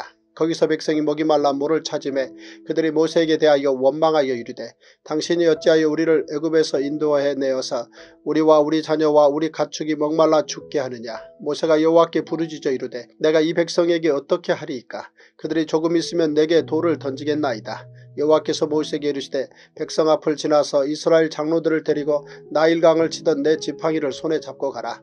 내가 호렙산에 있는 그 반석 위 거기서 내 앞에 서리니 너는 그 반석을 치라. 그것에서 물이 나오리니 백성이 마시리라. 모세가 이스라엘 장로들의 목전에서 그대로 행하니라. 그가 그곳 이름을 마사 또는 무리바라 불렀으니 이는 이스라엘 자손이 다투었으며 또는 그들이 여호와를 시험하여 이르기를 여호와께서 우리 중에 계신가 안 계신가 하였음이더라. 그때 아말렉이 와서 이스라엘 이스라엘과 르비딤에서 싸우니라. 모세가 여우수아에게 이르되 우리를 위하여 사람들을 택하여 나가서 아말렉과 싸우라. 내일 내가 하나님의 지팡이를 손에 잡고 산 꼭대기에 서리라.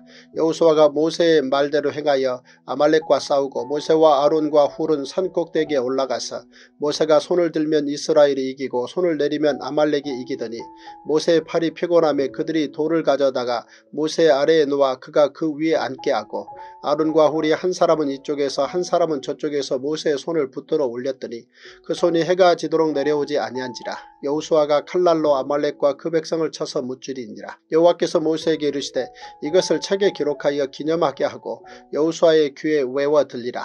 내가 아말렉을 없애하여 천하에서 기억도 못하게 하리라.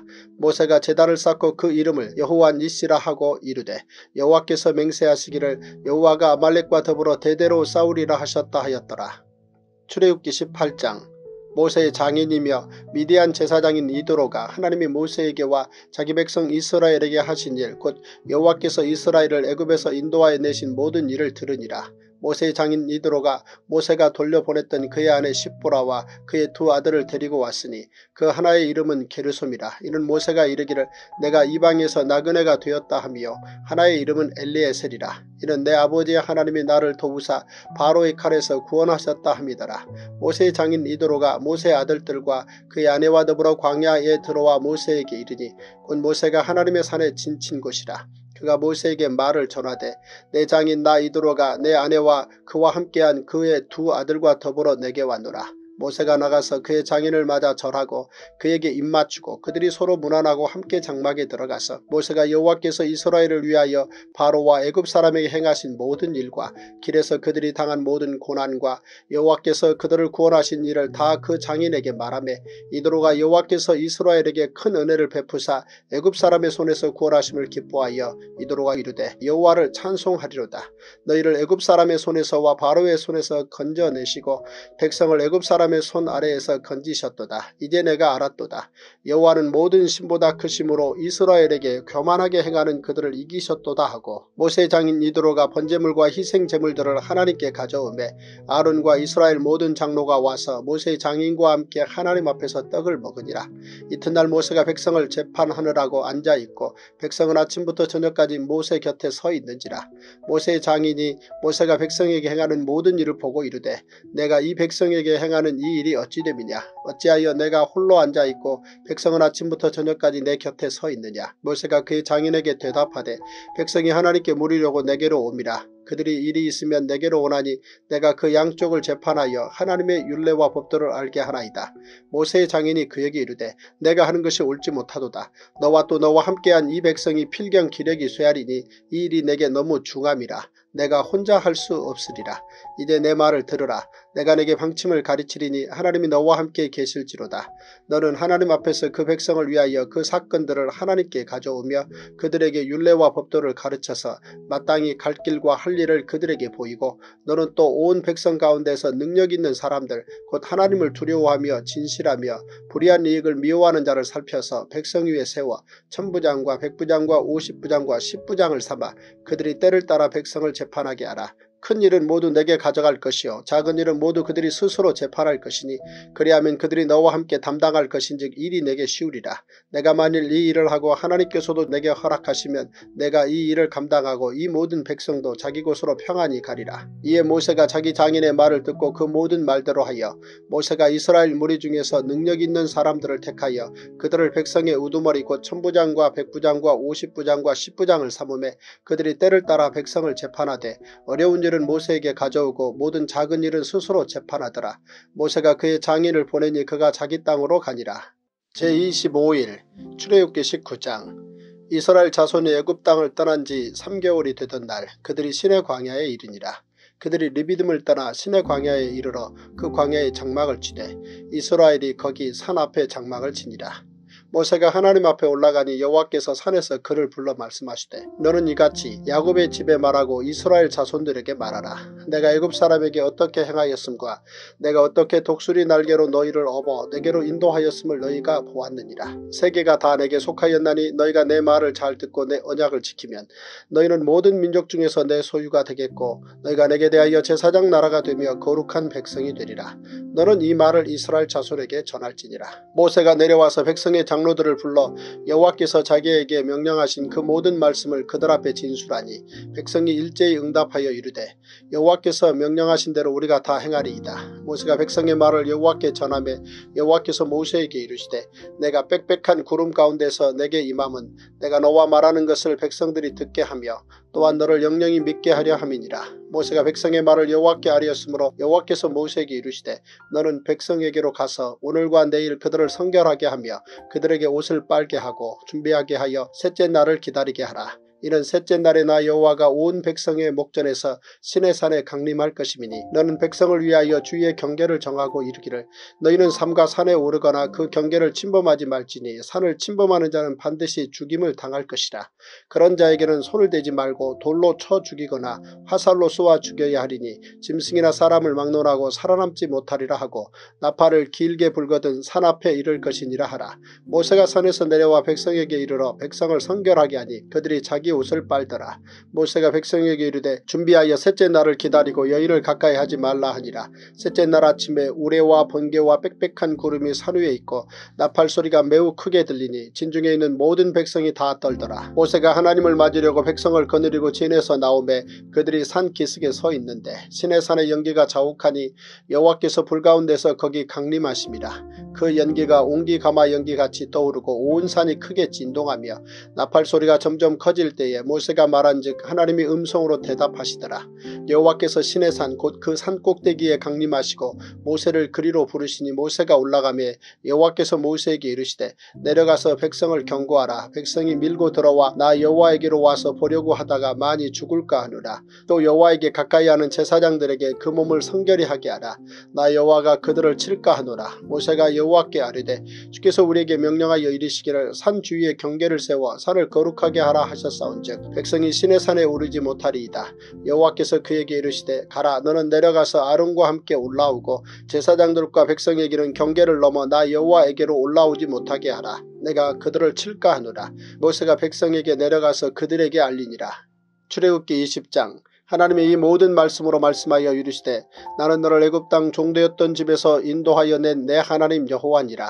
너는 나 외에는 다른 신들을 내게 두지 말라. 너를 위하여 새긴 우상을 만들지 말고 또 위로 하늘에 있는 것이나 아래로 땅에 있는 것이나 땅 아래 물속에 있는 것에 어떤 형상도 만들지 말며 그것들에게 절하지 말며 그것들을 섬기지 말라.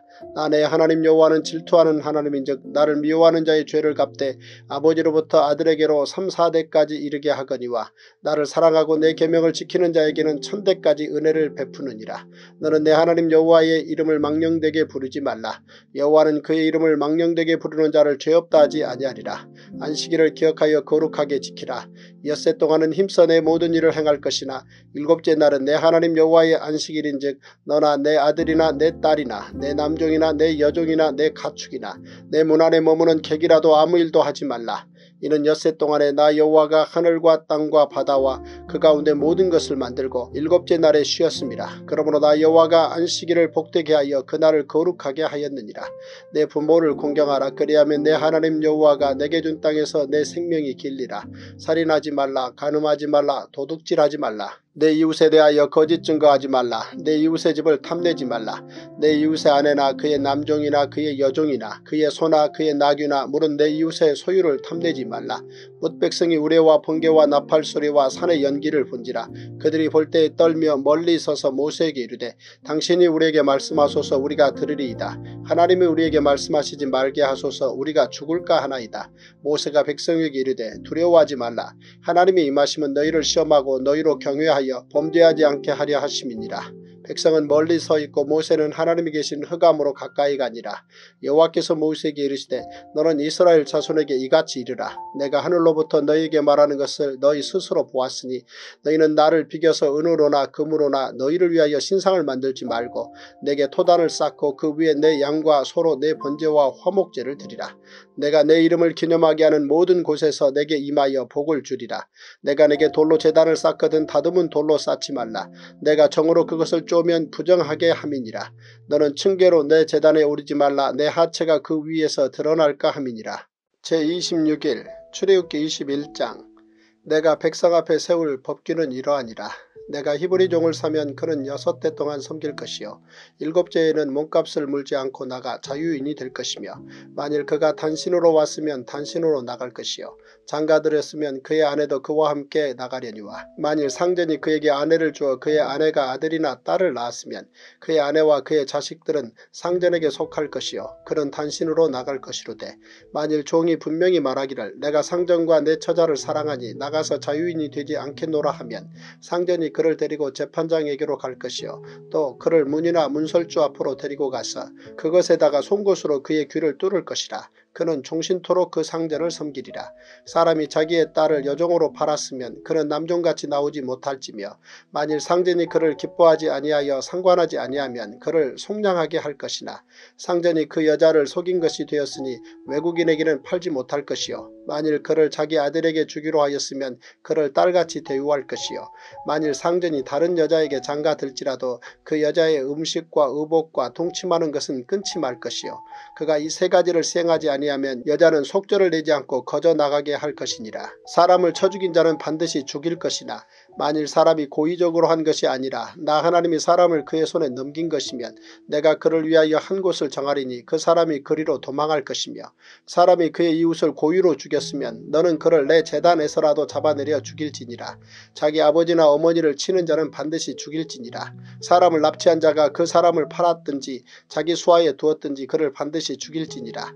자기의 아버지나 어머니를 저주하는 자는 반드시 죽일지니라 사람이 서로 싸우다가 하나가 돌이나 주먹으로 그의 상대방을 쳤으나 그가 죽지 않고 자리에 누웠다가 지팡이를 짚고 일어나 걸으면 그를 친 자가 형벌은 면하되 그간의 손해를 배상하고 그가 완치되게 할 것이니라. 사람이 매로 그 남종이나 여종을 쳐서 당장에 죽으면 반드시 형벌을 받으려니와 그가 하루나 이틀을 연명하면 형벌을 면하리니 그는 상전의 재산입니다. 사람이 서로 싸우다가 임신한 여인을 쳐서 낙태하게 하였으나 다른 해가 없으면 그 남편의 청구대로 반드시 벌금 을 내되 재판장의 판결을 따라 낼 것이니라. 그러나 다른 해가 있으면 갑되 생명은 생명으로 눈은 눈으로 이는 이로 손은 손으로 발은 발로 된 것은 된 것으로 상하게 한 것은 상함으로 때린 것은 때림으로 갚을지니라.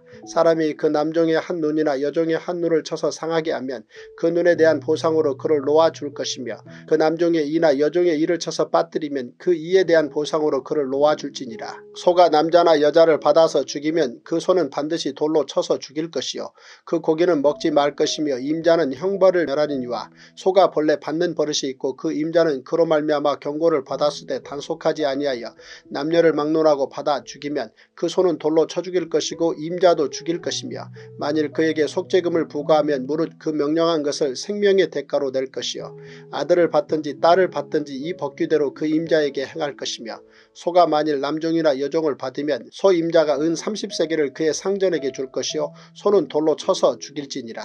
사람이 구덩이를 열어두거나 구덩이를 파고 덮지 아니하므로 소나 나귀가 거기에 빠지면 그 구덩이 주인이 잘 보상하여 짐승의 임자에게 돈을 줄 것이요 죽은 것은 그가 차지할 것이니라. 이 사람의 소가 저 사람의 소를 받아 죽이면 살아있는 소를 팔아 그 값을 반으로 나누고 또한 죽은 것도 반으로 나누려니와 그 소가 본래 받는 버릇이 있는 줄을 알고도 그 임자가 단속하지 아니하였으면 그는 소로 소를 갚을 것이요 죽은 것은 그가 차지할지니라. 출애굽기 22장 사람이 소나 양을 도둑질하여 잡거나 팔면 그는 소 한 마리에 소 다섯 마리로 갚고 양 한 마리에 양 네 마리로 갚을지니라. 도둑이 뚫고 들어오는 것을 보고 그를 쳐 죽이면 피 흘린 죄가 없으나 해 돋은 후에는 피 흘린 죄가 있으리라. 도둑은 반드시 배상할 것이나 배상할 것이 없으면 그 몸을 팔아 그 도둑질한 것을 배상할 것이요. 도둑질한 것이 살아 그의 손에 있으면 소나 나귀나 양을 막론하고 갑절을 배상할지니라. 사람이 밭에서나 포도원에서 짐승을 먹이다가 자기 의 짐승을 놓아 남의 밭에서 먹게 하면 자기 밭에 가장 좋은 것과 자기 포도원에 가장 좋은 것으로 배상할지니라. 불이 나서 가시나무에 댕겨 낯가리나 거두지 못한 곡식이나 밭을 태우면 불러온 자가 반드시 배상할지니라. 사람이 돈이나 물품을 이웃에게 맡겨 지키게 하였다가 그 이웃집에서 도둑을 맞았는데 그 도둑이 잡히면 갑절을 배상할 것이요. 도둑이 잡히지 아니하면 그 집 주인이 재판장 앞에 가서 자기가 그 이웃의 물품에 손댄 여부의 조사를 받을 것이며 어떤 잃은 물건 즉 소나 나귀나 양이나 의복이나 또는 다른 잃은 물건에 대하여 어떤 사람이 이르기를 이것이 그것이라 하면 양편이 재판장 앞에 나아갈 것이요 재판장이 죄 있다고 하는 자가 그 상대편에게 갑절을 배상할지니라. 사람이 나귀나 소나 양이나 다른 짐승을 이웃에게 맡겨 지키게 하였다가 죽거나 상하거나 끌려가도 본 사람이 없으면 두 사람 사이에 맡은 자가 이웃의 것에 손을 대지 아니하였다고 여호와께 맹세할 것이요 그 임자는 그대로 믿을 것이며 그 사람은 배상하지 아니하려니와 만일 자기에게서 도둑 맞았으면 그 임자에게 배상할 것이며 만일 찢겼으면 그것을 가져다가 증언할 것이요 그 찢긴 것에 대하여 배상하지 아니할지니라 만일 이웃에게 빌려온 것이 그 임자가 함께 있지 아니할 때 상하거나 죽으면 반드시 배상하려니와 그 임자가 그것과 함께 있었으면 배상하지 아니할지니라. 만일 새는 것이면 새로 족하니라. 사람이 약혼하지 아니한 처녀를 꿰어 동침하였으면 납폐금을 주고 아내로 삼을 것이요 만일 처녀의 아버지가 딸을 그에게 주기를 거절하면 그는 처녀에게 납폐금으로 돈을 낼지니라. 너는 무당을 살려두지 말라. 짐승과 행음하는 자는 반드시 죽일지니라. 여호와 외에 다른 신에게 제사를 드리는 자는 멸할지니라. 너는 이방 나그네를 압제하지 말며 그들을 학대하지 말라. 너희도 외국 땅에서 나그네였습니다. 너는 과부나 고아를 해롭게 하지 말라. 내가 만일 그들을 회롭게 하므로 그들이 내게 부르짖으면 내가 반드시 그 부르짖음을 들으리라.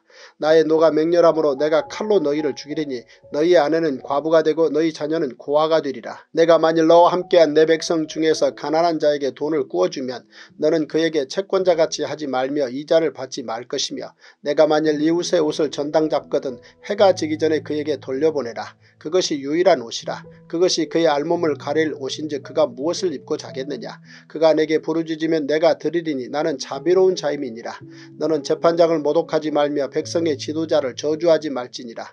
너는 내가 추수한 것과 내가 짜낸 집을 바치기를 더디하지 말지며 내 처음 난 아들들을 내게 줄지며 내 소와 양도 그와 같이 하되 이랫동안 어미와 함께 있게 하다가 여드렛 만에 내게 줄지니라. 너희는 내게 거룩한 사람이 될지니 들에서 짐승에게 찢긴 동물의 고기를 먹지 말고 그것을 개에게 던질지니라.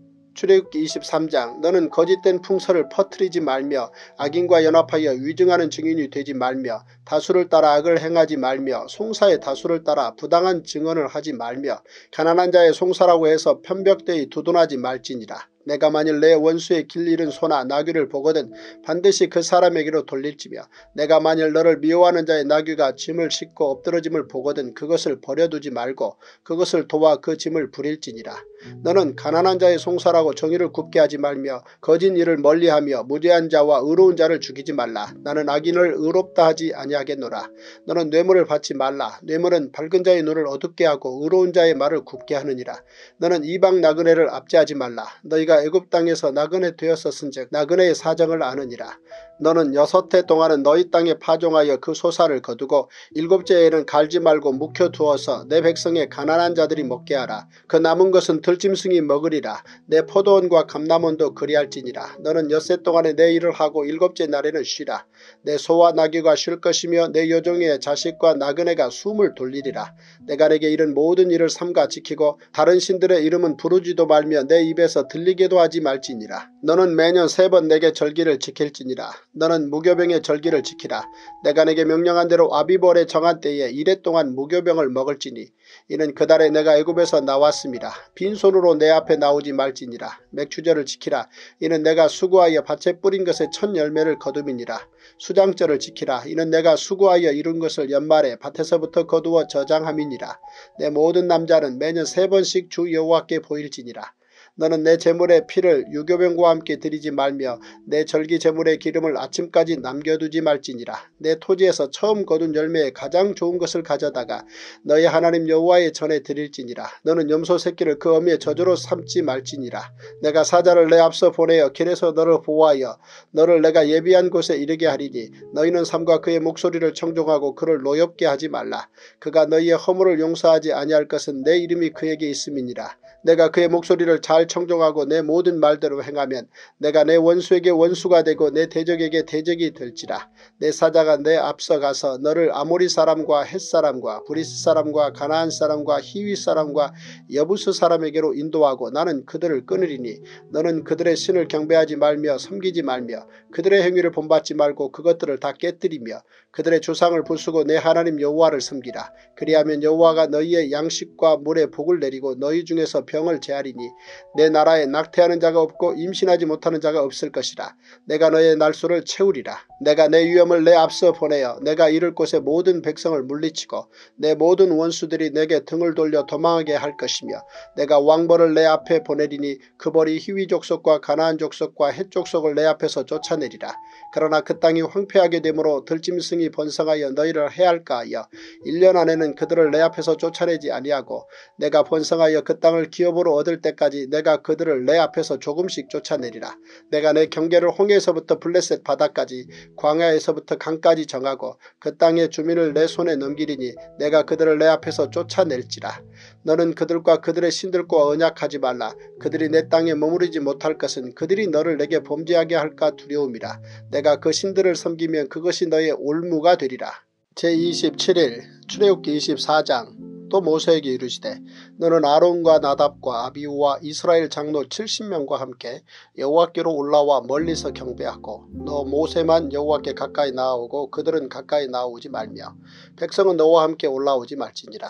모세가 와서 여호와의 모든 말씀과 그의 모든 율례를 백성에게 전하매 그들이 한 소리로 응답하여 이르되 여호와께서 말씀하신 모든 것을 우리가 준행하리이다. 모세가 여호와의 모든 말씀을 기록하고 이른 아침에 일어나 산 아래에 재단을 쌓고 이스라엘 열두 지파대로 열두 기둥을 세우고 이스라엘 자손의 청년들을 보내어 여호와께 소로 번제와 화목제를 드리게 하고 모세가 피를 가지고 반은 여러 양풀에 담고 반은 재단에 뿌리고 언약서를 가져다가 백성에게 낭독하여 듣게 하니 그들이 이르되 여호와의 모든 말씀을 우리가 준행하리이다. 모세가 그 피를 가지고 백성에게 뿌리며 이르되 이는 여호와께서 이 모든 말씀에 대하여 너희와 세우신 언약의 피니라.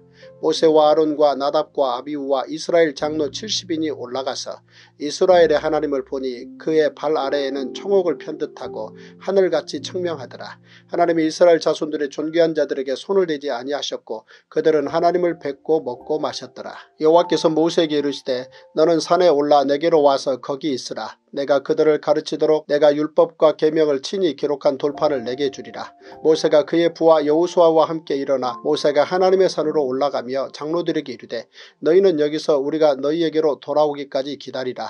아론과 훌이 너희와 함께하리니 무릇 일이 있는 자는 그들에게로 나갈지니라 하고 모세가 산에 오름에 구름이 산을 가리며 여호와의 영광이 시내산 위에 머무르고 구름이 엿새 동안 산을 가리더니 일곱째 날에 여호와께서 구름 가운데서 모세를 부르시니라. 산 위에 여호와의 영광이 이스라엘 자손의 눈에 맹렬한 불같이 보였고 모세는 구름 속으로 들어가서 산 위에 올랐으며 모세가 40일 40야를 산에 있으니라. 출애굽기 25장 여호와께서 모세에게 말씀하여 이르시되 이스라엘 자손에게 명령하여 내게 예물을 가져오라 하고 기쁜 마음으로 내는 자가 내게 바치는 모든 것을 너희는 받을지니라. 너희가 그들에게서 받을 예물은 이러하니 금과 은과 녹과 청색 자색 홍색 실과 가는 배실과 염소털과 붉은 물들인 순양의 가죽과 해달의 가죽과 조각목과 등유와 관유에 드는 향료와 분양할 향을 만들 향품과 호마노며 애복과 흉패에 물릴 보석이니라. 내가 그들 중에 거할 성소를 그들이 나를 위하여 짓되 무릇 내가 내게 보이는 모양대로 장막을 짓고 기구들도 그 모양을 따라 지을지니라. 그들은 조각목으로 궤를 짜되 길이는 두 규빗 반 너비는 한 규빗 반 높이는 한 규빗 반이 되게 하고 너는 순금으로 그것을 싸되 그 안팎을 싸고 위쪽 가장자리로 돌아가며 금태를 두리고 금고리 넷을 부어 만들어 그 네 발에 달되 이쪽에 두 고리 저쪽에 두 고리를 달며 조각목으로 채를 만들어 금으로 싸고 그 채를 괴 양쪽 고리에 꿰어서 괴를 매게 하며 채를 괴의 고리에 꿰 대로 두고 빼내지 말지며 내가 내게 줄 증거파를 괴 속에 둘지며 순금으로 속죄소를 만들되 길이는 두 규빗 반 너비는 한 규빗 반이 되게 하고 금으로 그룹 둘을 속죄소 두 끝에 쳐서 만들되 한 그룹은 이 끝에 또 한 그룹은 저 끝에 곧 속죄소 두 끝에 속죄소와 한 덩이로 연결할지며 그룹들은 그 날개를 높이 펴서 그 날개로 속죄소를 덮으며 그 얼굴을 서로 대하여 속죄소를 향하게 하고 속죄소를 궤 위에 얹고 내가 내게 줄 증거파를 궤 속에 넣으라. 거기서 내가 너와 만나고 속죄소 위 곧 증거궤 위에 있는 두 그룹 사이에서 내가 이스라엘 자손을 위하여 내게 명령할 모든 일을 내게 이르리라. 너는 조각목으로 상을 만들되 길이는 두 규빗 너비는 한 규빗 높이는 한 규빗 반이 되게 하고 순금으로 싸고 주위에 금태를 두르고 그 주위에 손바닥 넓이만한 턱을 만들고 그 턱 주위에 금으로 태를 만들고 그것을 위하여 금고리 넷을 만들어 그 네 발 위 네 모퉁이에 달되 턱 곁에 붙이라. 이는 상을 맬 채를 꿰 것이며 또 조각목으로 그 채를 만들고 금으로 싸라. 상을 이것으로 맬 것이니라. 너는 대접과 숟가락과 병과 붓는 잔을 만들되 순금으로 만들며 상 위에 진설병을 두어 항상 내 앞에 있게 할지니라.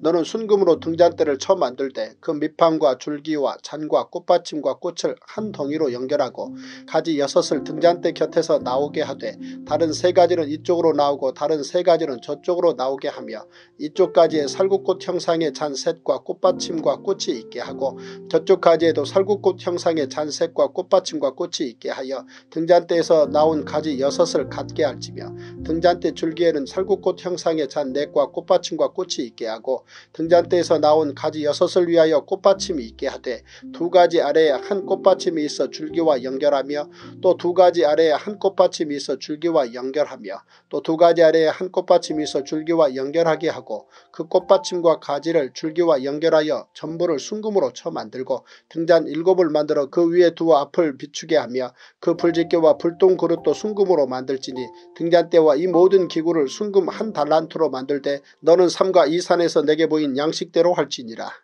출애굽기 26장 너는 성막을 만들되 가늘게 꼰 배실과 청색 자색 홍색 실로 그룹을 정교하게 수놓은 열폭의 휘장을 만들지니 매 폭의 길이는 28규빗 너비는 4규빗으로 각 폭의 장단을 갖게 하고 그 휘장 다섯 폭을 서로 연결하며 다른 다섯 폭도 서로 연결하고 그 휘장을 이을 끝폭가에 청색골을 만들며 이어질 다른 끝폭가에도 그와 같이 하고 휘장 끝폭가에 고 쉰개를 달며 다른 휘장 끝폭가에도 고 쉰개를 달고 그 고도를 서로 마주보게 하고 금갈고리 쉰개를 만들고 그 갈고리로 휘장을 연결하여 한 성막을 이룰지며 그 성막을 덮는 막 곧 휘장을 염소털로 만들 때 열한 폭을 만들지며 각 폭의 길이는 서른 규빗 너비는 네 규빗으로 열한 폭의 길이를 갖게 하고 그 휘장 다섯 폭을 서로 연결하며 또 여섯 폭을 서로 연결하고 그 여섯째 폭 절반은 성막 전면에 접어 들이우고 휘장을 이을 끝폭가에 고 쉰개를 달며 다른 이을 끝폭가에도 고 쉰개를 달고 놋갈고리 쉰개를 만들고 그 갈고리로 그 고를 꿰어 연결하여 한 막이 되게 하고 그 막 곧 휘장의 그 나머지 반폭은 성막 뒤에 늘어뜨리고 막 곧 휘장의 길이에 남은 것은 이쪽에 한 규빗 저쪽에 한 규빗씩 성막 좌우 양쪽에 덮어 늘어뜨리고 붉은 물들인 순양의 가죽으로 막의 덮개를 만들고 해달의 가죽으로 그 윗덮개를 만들지니라. 너는 조각목으로 성막을 위하여 널판을 만들어 세우되 각 판의 길이는 열 규빗 너비는 한 규빗 반으로 하고 각 판에 두 촉씩 내어 서로 연결하게 하되 너는 성막 널판을 다 그와 같이 하라. 너는 성막을 위하여 널판을 만들 때 남쪽을 위하여 널판 20개를 만들고 20 널판 아래에 은받침 40개를 만들지니 이쪽 널판 아래에도 그 두 촉을 위하여 두 받침을 만들고 저쪽 널판 아래에도 그 두 촉을 위하여 두 받침을 만들지며 성막 다른 쪽 곧 그 북쪽을 위하여도 널판 20개로 하고 은받침 40개를 이쪽 널판 아래에도 두 받침 저쪽 널판 아래에도 두 받침으로 하며 성막 뒤 곧 그 서쪽을 위하여는 널판 6개를 만들고 성막 뒤 두 모퉁이 쪽을 위하여는 널판 2개를 만들되 아래에서부터 위까지 각기 두 겹 두께로 하여 윗꼬리에 이르게 하고 두 모퉁이 쪽을 다 그리하며 그 여덟 널판에는 은받침이 열여섯이니 이쪽 판 아래에도 두 받침이요 저쪽 판 아래에도 두 받침이니라. 너는 조각목으로 띠를 만들지니 성막 이쪽 널판을 위하여 다섯 개요 성막 저쪽 널판을 위하여 다섯 개요 성막 뒤 곧 서쪽 널판을 위하여 다섯 개이며 널판 가운데 있는 중간 띠는 이 끝에서 저 끝에 미치게 하고 그 널판들을 금으로 싸고 그 널판들의 띠를 꿰를 금고리를 만들고 그 띠를 금으로 싸라. 너는 산에서 보인 양식대로 성막을 세울지니라. 너는 청색 자색 홍색 실과 가늘게 꼰 배실로 짜서 휘장을 만들고 그 위에 그룹들을 정교하게 수놓아서 금 갈고리를 내 기둥 위에 늘어뜨리되 그 내 기둥을 조각목으로 만들고 금으로 싸서 내 은받침 위에 둘지며 그 휘장을 갈고리 아래에 늘어뜨린 후에 증거계를 그 휘장 안에 들여놓으라. 그 휘장이 너희를 위하여 성소와 지성소를 구분하리라. 너는 지성소에 있는 증거계 위에 속죄소를 두고 그 휘장 바깥 북쪽에 상을 놓고 남쪽에 등잔대를 놓아 상과 마주하게 할지며 청색 자색 홍색 실과 가늘게 꼰 배실로 수놓아 짜서 성막문을 위하여 휘장을 만들고 그 휘장문을 위하여 기둥 다섯을 조각목으로 만들어 금으로 싸고 그 갈고리도 금으로 만들지며 또 그 기둥을 위하여 받침 다섯 개를 노수로 부어 만들지니라.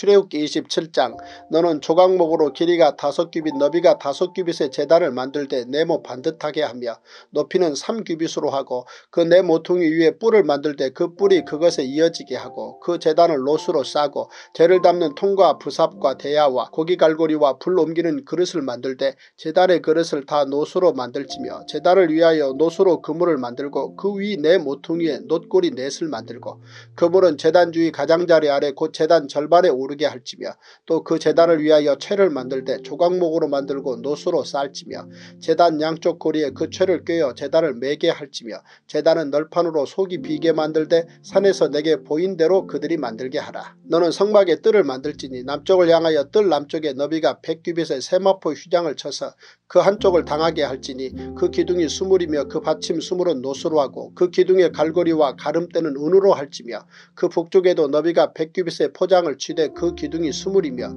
그 기둥의 받침 스물은 놋으로 하고 그 기둥의 갈고리와 가름대는 은으로 할지며 뜰의 옆 곧 서쪽에 너비 쉰 규빗의 포장을 취되 그 기둥이 열이요 받침이 열이며 동쪽을 향하여 뜰 동쪽의 너비도 쉰 규빗이 될지며 문 이쪽을 위하여 포장이 열다섯 규빗이며 그 기둥이 셋이요 받침이 셋 이요. 문 저쪽을 위하여도 포장이 열다섯 규빗이며 그 기둥이 셋이요. 받침이 셋이며 뜰문을 위하여는 청색 자색 홍색 실과 가늘게 꼰 베 실로 수놓아 짠 스무 규빗의 휘장이 있게 할지니 그 기둥이 넷이요. 받침이 넷이며 뜰 주위의 모든 기둥의 가름대와 갈고리는 은이요. 그 받침은 노시며 뜰의 길이는 백규빗이요. 너비는 쉰규빗이요. 세마포 휘장의 높이는 다섯 규빗이요. 그 받침은 노시며 성막에서 쓰는 모든 기구와 그 말뚝과 뜰의 포장 말뚝을 다 노수로 할지니라. 너는 또 이스라엘 자손에게 명령하여 감나무로 짠 순수한 기름을 등불을 위하여 내게로 가져오게 하고 끊이지 않게 등불을 켜되 아론과 그의 아들들로 회막한 증거계 앞 휘장 밖에서 저녁부터 아침까지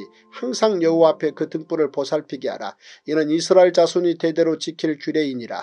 제28일 출애굽기 28장 너는 이스라엘 자손 중 내 형 아론과 그의 아들들 곧 아론과 아론의 아들들 나답과 아비우와 엘라아살과 이다마를 그와 함께 내게로 나아오게 하여 나를 섬기는 제사장 직분을 행하게 하되 내 형 아론을 위하여 거룩한 옷을 지어 영화롭고 아름답게 할지니 너는 모든 마음에 지혜 있는 모든 자 곧 내가 지혜로운 영으로 채운 자들에게 말하여 아론의 옷을 지어 그를 거룩하게 하여 내게 제사장 직분을 행하게 하라. 그들이 지을 옷은 이러하니 곧 흉패와 애복과 겉옷과 반포 속옷과 관과 띠라. 그들이 내 형 아론과 그 아들들을 위하여 거룩한 옷을 지어 아론이 내게 제사장 직분을 행하게 하라. 그들이 쓸 것은 금실과 청색 자색 홍색 실과 가늘게 꼰 배실이니라. 그들이 금실과 청색 자색 홍색 실과 가늘게 꼰 배실로 정교하게 짜서 에봇을 짓되 그것에 어깨바지 둘을 달아 그 두 끝을 이어지게 하고 에봇 위에 매는 띠는 에봇 짜는 법으로 금실과 청색 자색 홍색 실과 가늘게 꼰 배실로 에봇에 정교하게 붙여 짤지며 호마노 두 개를 가져 다가 그 위에 이스라엘 아들들의 이름을 새기되 그들의 나이대로 여섯 이름을 한 보석에 나머지 여섯 이름은 다른 보석에 새기라. 보석을 새기는 자가 도장에 새김같이 너는 이스라엘 아들들의 이름을 그 두 보석에 새겨 금태에 물리고 그 두 보석을 에봇의 두 어깨바지에 붙여 이스라엘 아들들의 기념 보석을 삼되 아론이 여호와 앞에서 그들의 이름을 그 두 어깨에 메워서 기념이 되게 할지며 너는 금으로 태를 만들고 순금으로 녹근처럼 두 사슬을 닦고 그 따은 사슬 을그 태에 닥지니라. 너는 판결 흉패를 에봇짜는 방법으로 금실과 청색 자색 홍색실과 가늘게 꼰 배실로 정교하게 짜서 만들되 길이와 너비가 한 뼘씩 두 겹으로 네모 반듯하게 하고 그것에 네 줄로 보석을 물리되 첫 줄은 홍보석 황옥 녹주옥이요. 둘째 줄은 성류석 남보석 홍만호요. 셋째 줄은 호박 백만호 자수정이요. 넷째 줄은 녹보석 호마노 벽옥으로 다 금태에 물릴지니 이 보석들은 이스라엘 아들들의 이름대로 열둘이라. 보석마다 열두 지파에 한 이름씩 도장을 새기는 법으로 새기고 순금으로 녹근처럼 따은 사슬을 흉패 위에 붙이고 또 금고리 둘을 만들어 흉패 위 곧 흉패 두 끝에 그 두 고리를 달고 땋은 두 금 사슬로 흉패 두 끝 두 고리에 꿰어 매고 두 땋은 사슬의 다른 두 끝을 에봇 앞 두 어깨받이의 금 테에 매고 또 금고리 둘을 만들어 흉패 아래 양쪽과 안쪽 곧 에봇에 닿은 곳에 달고 또 금고리 둘을 만들어 에봇 앞 두 어깨받이 아래 매는 자리 가까운 쪽 곧 정교하게 짠 띠 위쪽에 달고 청색끈으로 흉패 고리와 에봇 고리에 꿰어 흉패로 정교하게 짠 에봇 띠 위에 붙여 떨어지지 않게 하라. 아론이 성소에 들어갈 때에는 이스라엘 아들들의 이름을 기록한 이 판결 흉패를 가슴에 붙여 여호와 앞에 영원한 기념을 삼을 것이니라. 너는 우림과 둠밈을 판결 흉패 안에 넣어 아론이 여호와 앞에 들어갈 때에 그의 가슴에 붙이게 하라. 아론은 여호와 앞에서 이스라엘 자손의 흉패를 항상 그의 가슴에 붙일지니라. 너는 에봇받침 겉옷을 전부 청색으로 하되 두 어깨 사이에 머리 들어갈 구멍을 내고 그 주위에 갑옷 깃같이 깃을 짜서 찢어지지 않게 하고 그 옷 가장자리로 돌아가며 청색 자색 홍색 실로 석류를 수놓고 금방울을 간격을 두어 달되 그 옷 가장자리로 돌아가며 한 금방울 한 석류 한 금방울 한 석류가 있게 하라. 아론이 입고 여호와를 섬기러 성소에 들어갈 때와 성소에서 나올 때 그 소리가 들릴 것이라. 그리하면 그가 죽지 아니하리라. 너는 또 순금으로 패를 만들어 도장을 새기는 법으로 그 위에 새기되 여호와께 성결이라 하고 그 패를 청색끈으로 관 위에 매되 곧 관 전면에 있게 하라. 이 패를 아론의 이마에 두어 그가 이스라엘 자손이 거룩하게 드리는 성물과 관련된 죄책을 담당하게 하라. 그 패가 아론의 이마에 늘 있 으므로 그 성물을 여호와께서 받으시게 되리라. 너는 가는 배실로 반포 속옷을 짜고 가는 배실로 관을 만들고 띠를 수놓아 만들지니라. 너는 아론의 아들들을 위하여 속옷을 만들며 그들을 위하여 띠를 만들며 그들을 위하여 관을 만들어 영화롭고 아름답게 하되 너는 그것들로 내 형 아론과 그와 함께한 그의 아들들에게 입히고 그들에게 기름을 부어 위임하고 거룩하게 하여 그들이 제사장 직분을 내게 행하게 할지며 또 그들을 위하여 배로 속바지를 만들어 허리에서부터 두 넓적다리까지 이르게 하여 하체를 가리게 하라. 아론과 그의 아들들이 회막에 들어갈 때에나 재단에 가까이 하여 거룩한 곳에서 섬길 때에 그것들을 입어야 죄를 짊어진 채 죽지 아니하리니 그와 그의 후손이 영원히 지킬 규례니라. 출애굽기 29장 내가 그들에게 나를 섬길 제사장 직분을 위임하여 그들을 거룩하게 할 일은 이러하니 곧 어린 수소 하나와 흠없는 순양 둘을 택하고 무교병과 기름 섞인 무교 가자와 기름 바른 무교 전병을 모두 고운 밀가루로 만들고 그것들을 한 광주리에 담고 그것을 광주리에 담은 채 그 송아지와 두 양과 함께 가져오라. 너는 아론과 그의 아들들을 회막문으로 데려다가 물로 씻기고 의복을 가져다가 아론에게 속옷과 에봇 받침 겉옷과 에봇을 입히고 흉패를 달고 에봇에 정교하게 짠 띠를 띠게 하고 그의 머리에 관을 씌우고 그 위에 거룩한 패를 더하고 관유를 가져다가 그의 머리에 부어 바르고 그의 아들들을 데려다가 그들에게 속옷을 입히고 아론과 그의 아들들에게 띠를 띄우며 관을 씌워 그들에게 제사장의 직분을 맡겨 영원한 규례가 되게 하라. 너는 이같이 아론과 그의 아들들에게 위임하여 거룩하게 할지니라. 너는 수송아지를 회막 앞으로 끌어오고 아론과 그의 아들들은 그 송아지 머리에 안수할지며 너는 회막문 여호와 앞에서 그 송아지를 잡고 그 피를 내 손가락으로 재단 뿔들에 바르고 그 피 전부를 재단 밑에 쏟을지며 내장에 덮인 모든 기름과 간 위에 있는 꺼풀과 두 콩팥과 그 위에 기름을 가져다가 재단 위에 불사르고 그 수소의 고기와 가죽과 똥을 진 밖에서 불사르라. 이는 속죄제니라. 너는 또 순양 한 마리를 끌어오고 아론과 그의 아들들은 그 순양이 머리 위에 안수할지며 너는 그 순양을 잡고 그 피를 가져다가 재단 위에 주위에 뿌리고 그 순양의 각을 뜨고 그 장부와 다리는 씻어 각을 뜬 고기와 그 머리와 함께 두고 그 순양 전부를 재단 위에 불사르라. 이는 여호와께 드리는 번제요 이는 향기로운 냄새니 여호와께 드리는 화제니라. 너는 다른 순양을 택하고 아론과 그 아들들은 그 순양의 머리 위에 안수할지며 너는 그 순양을 잡고 그것의 피를 가져 가져다가 아론의 오른쪽 귓뿌리와 그의 아들들의 오른쪽 귓뿌리에 바르고 그 오른손 엄지와 오른발 엄지에 바르고 그 피를 재단 주위에 뿌리고 재단 위에 피와 관유를 가져다가 아론과 그의 옷과 그의 아들들과 그의 아들들의 옷에 뿌리라. 그와 그의 옷과 그의 아들들과 그의 아들들의 옷이 거룩하리라. 또 너는 그 순양의 기름과 기름진 꼬리와 그것의 내장에 덮인 기름과 간 위의 꺼풀과 두 콩팥과 그것들 위에 기름과 오른쪽 넓적다리를 가지라. 이는 위임식의 순양 이라. 아니라 또 여호와 앞에 있는 무교병 광주리에서 떡 한 개와 기름 바른 과자 한 개와 전병 한 개를 가져다가 그 전부를 아론의 손과 그의 아들들의 손에 주고 그것을 흔들어 여호와 앞에 요제를 삼을지며 너는 그것을 그들의 손에서 가져다가 제단 위에서 번제물을 더하여 불사르라. 이는 여호와 앞에 향기로운 냄새니 곧 여호와께 드리는 화제니라. 너는 아론의 유임식 순양의 가슴을 가져다가 여호와 앞에 흔들어 요제를 삼으라. 이것이 내 분기신이라. 너는 그 흔든 요제물 곧 아론과 아론과 그 아들들의 위임식 순양의 가슴과 넓적다리를 거룩하게 하라. 이는 이스라엘 자손이 아론과 그의 자손에게 돌릴 영원한 분기시오 거제물이니 곧 이스라엘 자손이 화목제의 제물 중에서 취한 거제물로서 여호와께 드리는 거제물이니라. 아론의 성인은 후에 아론의 아들들에게 돌릴지니 그들이 그것을 입고 기름 부음으로 위임을 받을 것이며 그를 이어 제사장이 되는 아들이 회막에 들어가서 성소에서 섬길 때에는 이래 동안 그것을 입을지니라. 넌 위임식 순양을 가져 가져다가 거룩한 곳에서 그 고기를 삶고 아론과 그의 아들들은 회막문에서 그 순양의 고기와 광줄에 있는 떡을 먹을지라. 그들은 속죄물 곧 그들을 위임하며 그들을 거룩하게 하는 데 쓰는 것을 먹되 타인은 먹지 못할지니 그것이 거룩하기 때문이라. 위임식 고기나 떡이 아침까지 남아있으면 그것을 불에 사를지니 이는 거룩한 즉 먹지 못할지니라 너는 내가 내게 한 모든 명령대로 아론과 그의 아들들에게 그같이 하여 이래 동안 위임식을 행하되 매일 수송아지 하나로 속죄하기 위하여 속죄제를 드리며 또 재단을 위하여 속죄하여 깨끗하게 하고 그것에 기름을 부어 거룩하게 하라. 너는 이래 동안 재단을 위하여 속죄하여 거룩하게 하라. 그리하면 지극히 거룩한 재단이 되리니 재단에 접촉하는 모든 것이 거룩하리라. 내가 재단 위에 드릴 것은 이러하니라. 매일 1년 된 어린 양 두 마리니 한 어린 양은 아침에 드리고 한 어린 양은 저녁 때에 드릴지며 한 어린 양의 고운 밀가루 10분의 1 에바와 찌은 기름 4분의 1 흰을 더하고 또 전제로 포도주 4분의 1 흰을 더할지며 한 어린 양은 저녁 때에 드리되 아침에 한 것처럼 소재와 전제를 그것과 함께 드려 향기로운 냄새가 되게 하여 여호와께 화제로 삼을지니 이는 너희가 대대로 여호와 앞 회막문에서 늘 드릴 번제라.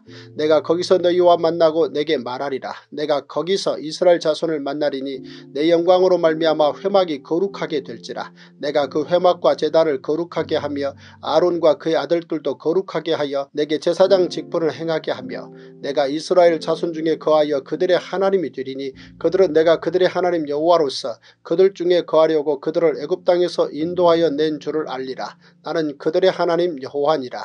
제29일 출애굽기 30장 너는 분양할 제단을 만들지니 곧 조각목으로 만들되 길이가 한 규빗 너비가 한 규빗으로 네모가 반듯하게 하고 높이는 두 규빗으로 하며 그 뿔을 그것과 이어지게 하고 재단 상면과 전후 좌우면과 뿔을 순금으로 싸고 주위에 금태를 둘을 찌며 금태 아래 양쪽에 금고리 둘을 만들되 곧 그 양쪽에 만들지니 이는 재단을 매는 채를 꿰를 것이며 그 채를 조각목으로 만들고 금으로 싸고 그 재단을 증거계 위 속죄소 맞은편 곧 증거계 앞에 있는 휘장 밖에 두라.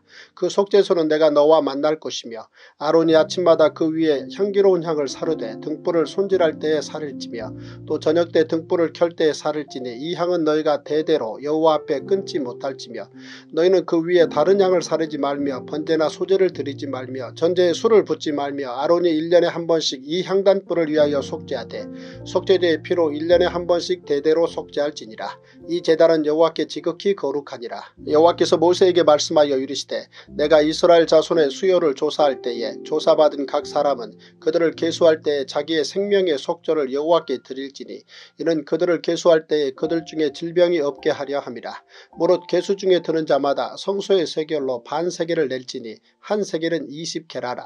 그 반 세겔을 여호와께 드릴지며 계수 중에 드는 모든 자 곧 스무 살 이상 된 자가 여호와께 드리되 너희의 생명을 대속하기 위하여 여호와께 드릴 때에 부자라고 반 세겔에서 더 내지 말고 가난한 자라고 덜 내지 말지며 너는 이스라엘 자손에게서 속조를 취하여 회막 봉사했으라. 이것이 여호와 앞에서 이스라엘 자손의 기념이 되어서 너희의 생명을 대속하리라. 여호와께서 모세에게 말씀하여 이르시되 너는 물두멍을 노수로 만들고 그 받침도 노수로 만들어 씻게 하되 그것을 회막과 재단 사이에 두고 그 속에 물을 담으라.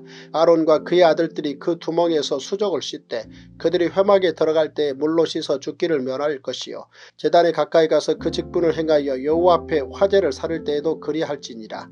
이와 같이 그들이 그 수족을 씻어 죽기를 면할지니 이는 그와 그의 자손이 대대로 영원히 지킬 규례니라. 여호와께서 모세에게 또 말씀하여 이르시되 너는 상등 향품을 가지되 액체 몰약 500세겔과 그 반수의 향기로운 육개 250세겔과 향기로운 창포 250세겔과 계피 500세겔을 성소의 세겔로 하고 감남 기름 한 흰을 가지고 그것으로 거룩한 관유를 만들되 향을 제조하는 법대로 향기름을 만들지니 그것이 거룩한 관유가 될지라. 너는 그것을 회막과 증거교회에 바르고 상과 그 모든 기구이며 등잔대와 그 기구이며 분양단과 및 번제단과 그 모든 기구와 물두멍과 그 받침에 발라 그것들을 지극히 거룩한 것으로 구별하라. 이것에 접촉하는 것은 모두 거룩하리라.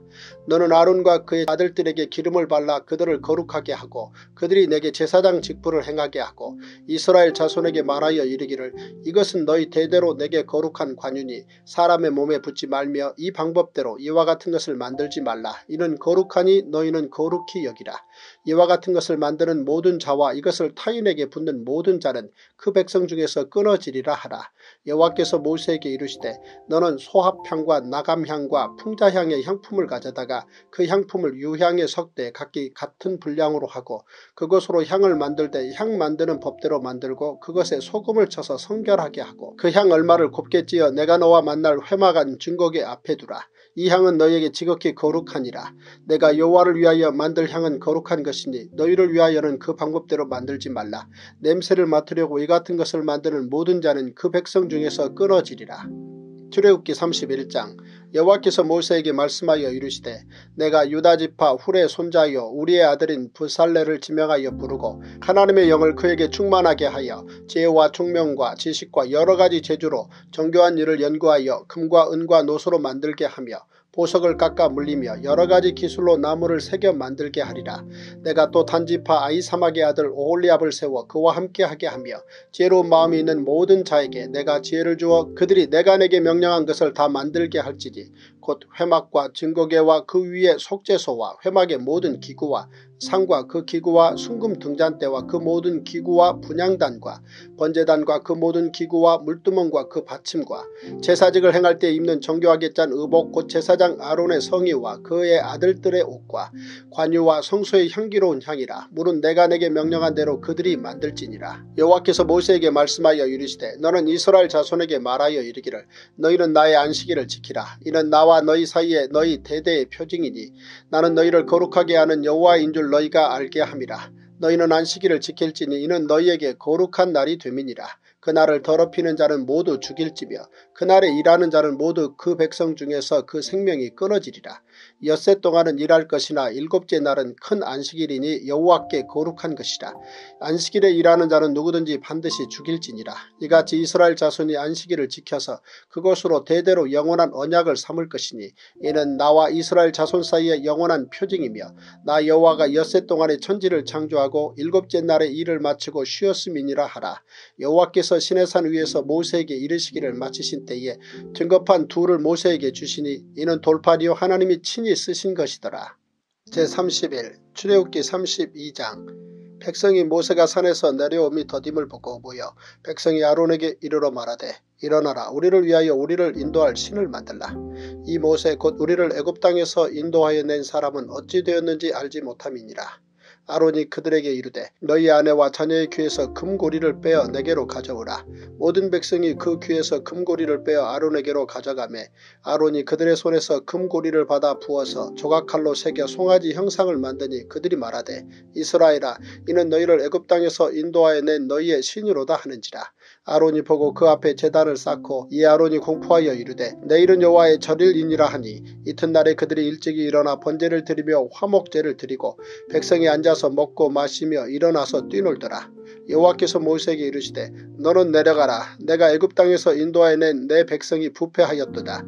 그들이 내가 그들에게 명령한 길을 속히 떠나 자기를 위하여 송아지를 부어 만들고 그것을 예배하며 그것에게 제물을 드리며 말하기를 이스라엘아 이는 너희를 애굽 땅에서 인도하여 낸 너희 신이라 하였도다. 여호와께서 또 모세에게 이르시되 내가 이 백성을 보니 목이 뻣뻣한 백성이로다. 그런즉 내가 하는 대로 두라. 내가 그들에게 진노하여 그들을 진멸하고 너를 큰 나라가 되게 하리라. 모세가 그의 하나님 여호와께 구하여 이르되 여호와여 어찌하여 그 큰 권능과 강한 손으로 애굽 땅에서 인도하여 내신 주의 백성에게 진노하시나이까 어찌하여 애굽 사람들이 이르기를 여호와가 자기의 백성을 산에서 죽이고 지면에서 진멸하려는 악한 의도로 인도해 내었다고 말하게 하시려 하나이까 주의 맹렬한 노를 그치시고 뜻을 돌이키사 주의 백성에게 이 화를 내리지 마옵소서 주의 종 아브라함과 이삭과 이스라엘을 기억하소서 주께서 그들을 위하여 주를 가리켜 맹세하여 이르시기를 내가 너희의 자손을 하늘의 별처럼 많게 하고 내가 허락한 이 온 땅을 너희의 자손에게 주어 영원한 기업이 되게 하리라 하셨나이다. 여호와께서 뜻을 돌이키사 말씀하신 화를 그 백성에게 내리지 아니하시니라.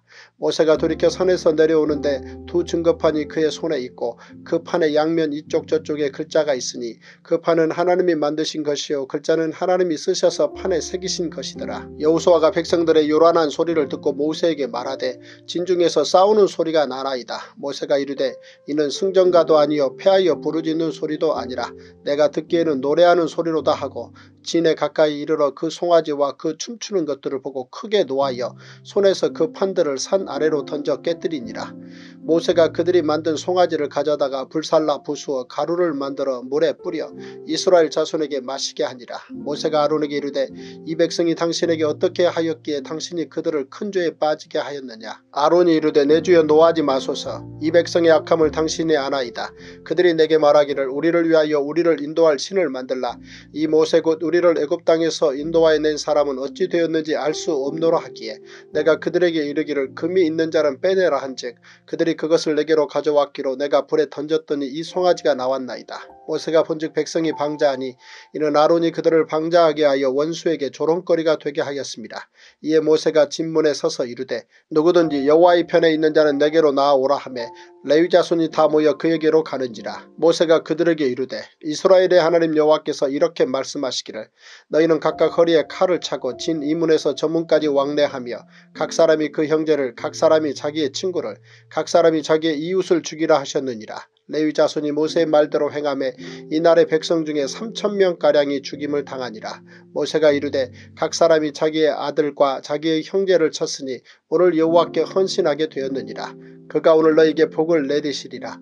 이튿날 모세가 백성에게 이르되 너희가 큰 죄를 범하였도다. 내가 이제 여호와께로 올라가노니 혹 너희를 위하여 속죄가 될까 하노라 하고 모세가 여호와께로 다시 나아가 여짜오되 슬프도소이다. 이 백성이 자기들을 위하여 금신을 만들어 싸우니 큰 죄를 범하였나이다. 그러나 이제 그들의 죄를 사하시옵소서. 그렇지 아니하시오면 원하건대 주께서 기록하신 책에서 내 이름을 지워버려 주옵소서. 여호와께서 모세에게 이르시되 누구든지 내게 범죄하면 내가 내 책에서 그를 지워버리리라. 이제 가서 내가 내게 말한 곳으로 백성을 인도하라. 내 사자가 내 앞서 가리라. 그러나 내가 보응할 날에는 그들의 죄를 보응하리라. 여호와께서 백성을 치시니 이는 그들이 아론이 만든 바 그 송아지를 만들었음이더라. 출애굽기 33장 여호와께서 모세에게 이르시되 너는 내가 애굽 땅에서 인도하여 낸 백성과 함께 여기를 떠나서 내가 아브라함과 이삭과 야곱에게 맹세하여 네 자손에게 주기로 한 그 땅으로 올라가라. 내가 사자를 너보다 앞서 보내어 가나안 사람과 아모리 사람과 헷 사람과 브리스 사람과 히위 사람과 여부스 사람을 쫓아내고 너희를 젖과 꿀이 흐르는 땅에 이르게 하려니와 나는 너희와 함께 올라가지 아니하리니 너희는 목이 곧은 백성인즉 내가 길에서 너희를 진멸할까 염려함이니라 하시니 백성이 이 준엄한 말씀을 듣고 슬퍼하여 한 사람도 자기의 몸을 단장하지 아니하니 여호와께서 모세에게 이르시기를 이스라엘 자손에게 이르라 너희는 목이 곧은 백성인즉 내가 한순간이라도 너희 가운데 이르면 너희를 진멸하리니 너희는 장신구를 떼어내라 그리하면 내가 너희에게 어떻게 할 것인지 정하게 노라 하셨습니다. 이스라엘 자손이 호렙산에서부터 그들의 장신구를 떼어내니라. 모세가 항상 장막을 취하여 진 밖에 쳐서 진과 멀리 떠나게 하고 회막이라 이름하니 여호와를 악모하는 자는 다 진 바깥 회막으로 나아가며 모세가 회막으로 나아갈 때에는 백성이 다 일어나 자기 장막 문에 서서 모세가 회막에 들어가기까지 바라보며 모세가 회막에 들어갈 때에 구름 기둥이 내려 회막 문에 서며 여호와께서 모세와 말씀하시니 모든 백성이 회막 문에 구름 기둥이 서 있는 것을 보고 다 일어나 각기 장막 문에 서서 예배하며 사람이 자기의 친구 여호와 이야기함 같이 여호와께서는 모세와 대면하여 말씀하시며 모세는 진으로 돌아오라 눈의 아들 젊은 수종자 여우수아는 회막을 떠나지 아니하니라. 모세가 여호와께 아뢰되 보시옵소서 주께서 내게 이 백성을 인도하여 올라가라 하시면서 나와 함께 보낼 자를 내게 지시하지 아니하시나이다. 주께서 전에 말씀하시기를 나는 이름으로도 너를 알고 너도 내 앞에 은총을 입었다 하셨사온즉 내가 참으로 주의 목전에 은총을 입었사오면 원하건대 주의 길을 내게 보이사 내게 주를 알리시고 나로 주의 목전에 은총을 입게 하시며 이 족속을 주의 백성으로 여기소서 여호와께서 이르시되 내가 친히 가리라 내가 너를 쉬게 하리라. 모세가 여호와께 아뢰되 주께서 친히 가지 아니하시려거든 우리를 이곳에서 올려 보내지 마옵소서. 나와 주의 백성이 주의 목전에 은총 입은 줄을 무엇으로 알리이까. 주께서 우리와 함께 행하심으로 나와 주의 백성을 천하 만민 중에 구별하심이 아니니까. 여호와께서 모세에게 이르시되 내가 말하는 이 일도 내가 하리니 너는 내 목전에 은총을 입었고 내가 이름으로도 너를 알미니라. 모세가 이르되 원하건대 주의 영광을 내게 보이소서. 여호와께서 이르시되 내가 내 모든 선한 것을 내 앞으로 지나가게 하고 여호와의 이름을 내 앞에 선포하리라. 나는 은혜 베풀 자에게 은혜를 베풀고 극률이 여길 자에게 극률을 베푸느니라. 또 이르시되 내가 내 얼굴을 보지 못하리니 나를 보고 살 자가 없음이니라. 여호와께서 또 이르시기를 보라 내 곁에 한 장소가 있으니 너는 그 반석 위에 서라. 내 영광이 지나갈 때에 내가 너를 반석 틈에 두고 내가 지나도록 내 손으로 너를 덮었다가 손을 거두리니 내가 내 등을 볼 것이요 얼굴은 보지 못하리라. 출애굽기 34장 여호와께서 모세에게 이르시되 너는 돌판 돌을 처음 것과 같이 다듬어 만들라. 내가 깨뜨린 처음 판에 있던 말을 내가 그 판에 쓰리니 아침까지 준비하고 아침에 시내산에 올라와 산 꼭대기에서 내게 보이되 아무도 너와 함께 오르지 말며 온 산에 아무도 나타나지 못하게 하고 양과 소도 산 앞에서 먹지 못하게 하라. 모세가 돌판 돌을 처음 것과 같이 깎아 만들고 아침에 일찍 일어나 그 두 돌판을 손에 들고 여호와의 명령대로 시내산에 올라가니 여호와께서 구름 가운데 강림하사 그와 함께 거기 서서 여호와의 이름을 선포하실세. 여호와께서 그의 앞으로 지나시며 선포하시되 여호와라 여호와라 자비롭고 은혜롭고 노하기를 더디하고 인자와 진실이 많은 하나님이라.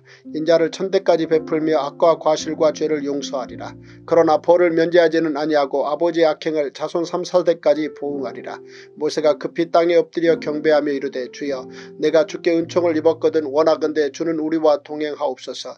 이는 목이 뻣뻣한 백성이니이다. 우리 악과 죄를 사시고 우리를 주의 기업으로 삼으소서. 여호와께서 이르시되 보라 내가 언약을 세우나니 곧 내가 아직 온 땅 아무 국민에게도 행하지 아니한 이적을 너희 전체 백성 앞에 행할 것이라.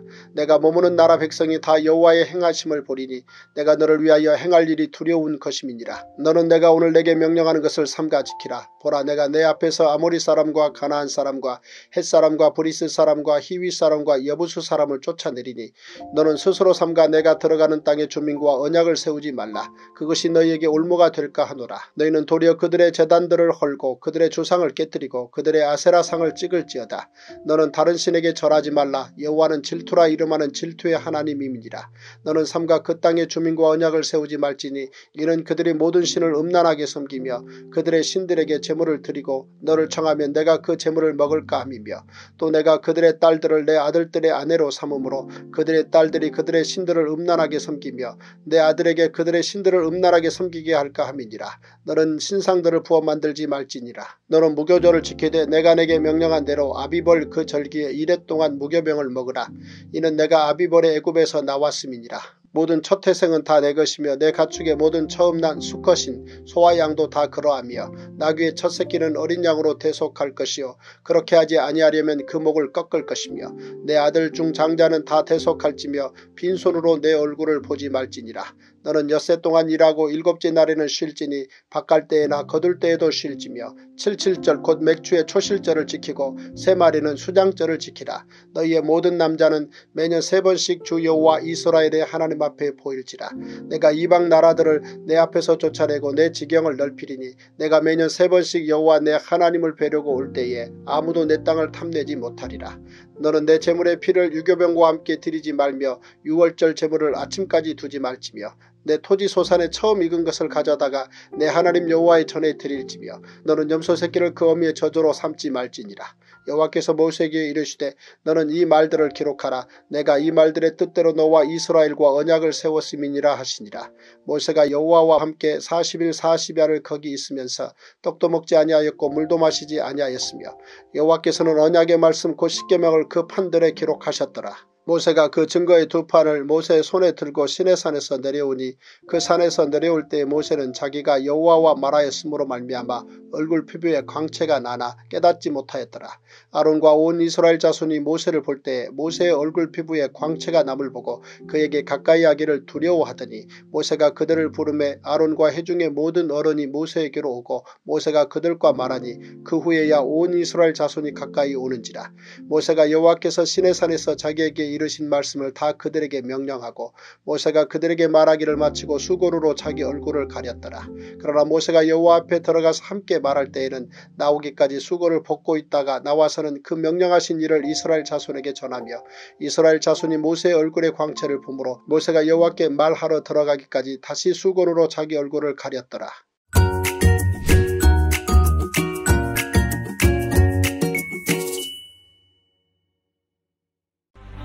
Dr. James O. Davis, the founder and president of Global Church Network, has repeatedly said, For my entire life, I've heard about the underground church in the Middle East, but now it is time to hear about the upper ground church in the Himalayan mountains. The Himalayan mountains are 1,500 miles wide, ranging from Bhutan to Nepal, India, Pakistan, and Afghanistan. There are more than 20,000 villages in the higher altitudes that have never had a local church in them. Mount Everest Training Center. The Mount Everest Training Center will be located in Salokambu, Nepal at the 8,000 foot level. Salokambu has a population of more than 110,000 people. In addition to training leaders during the week, the Mount Everest Training Center will serve as a phenomenal church on the weekends.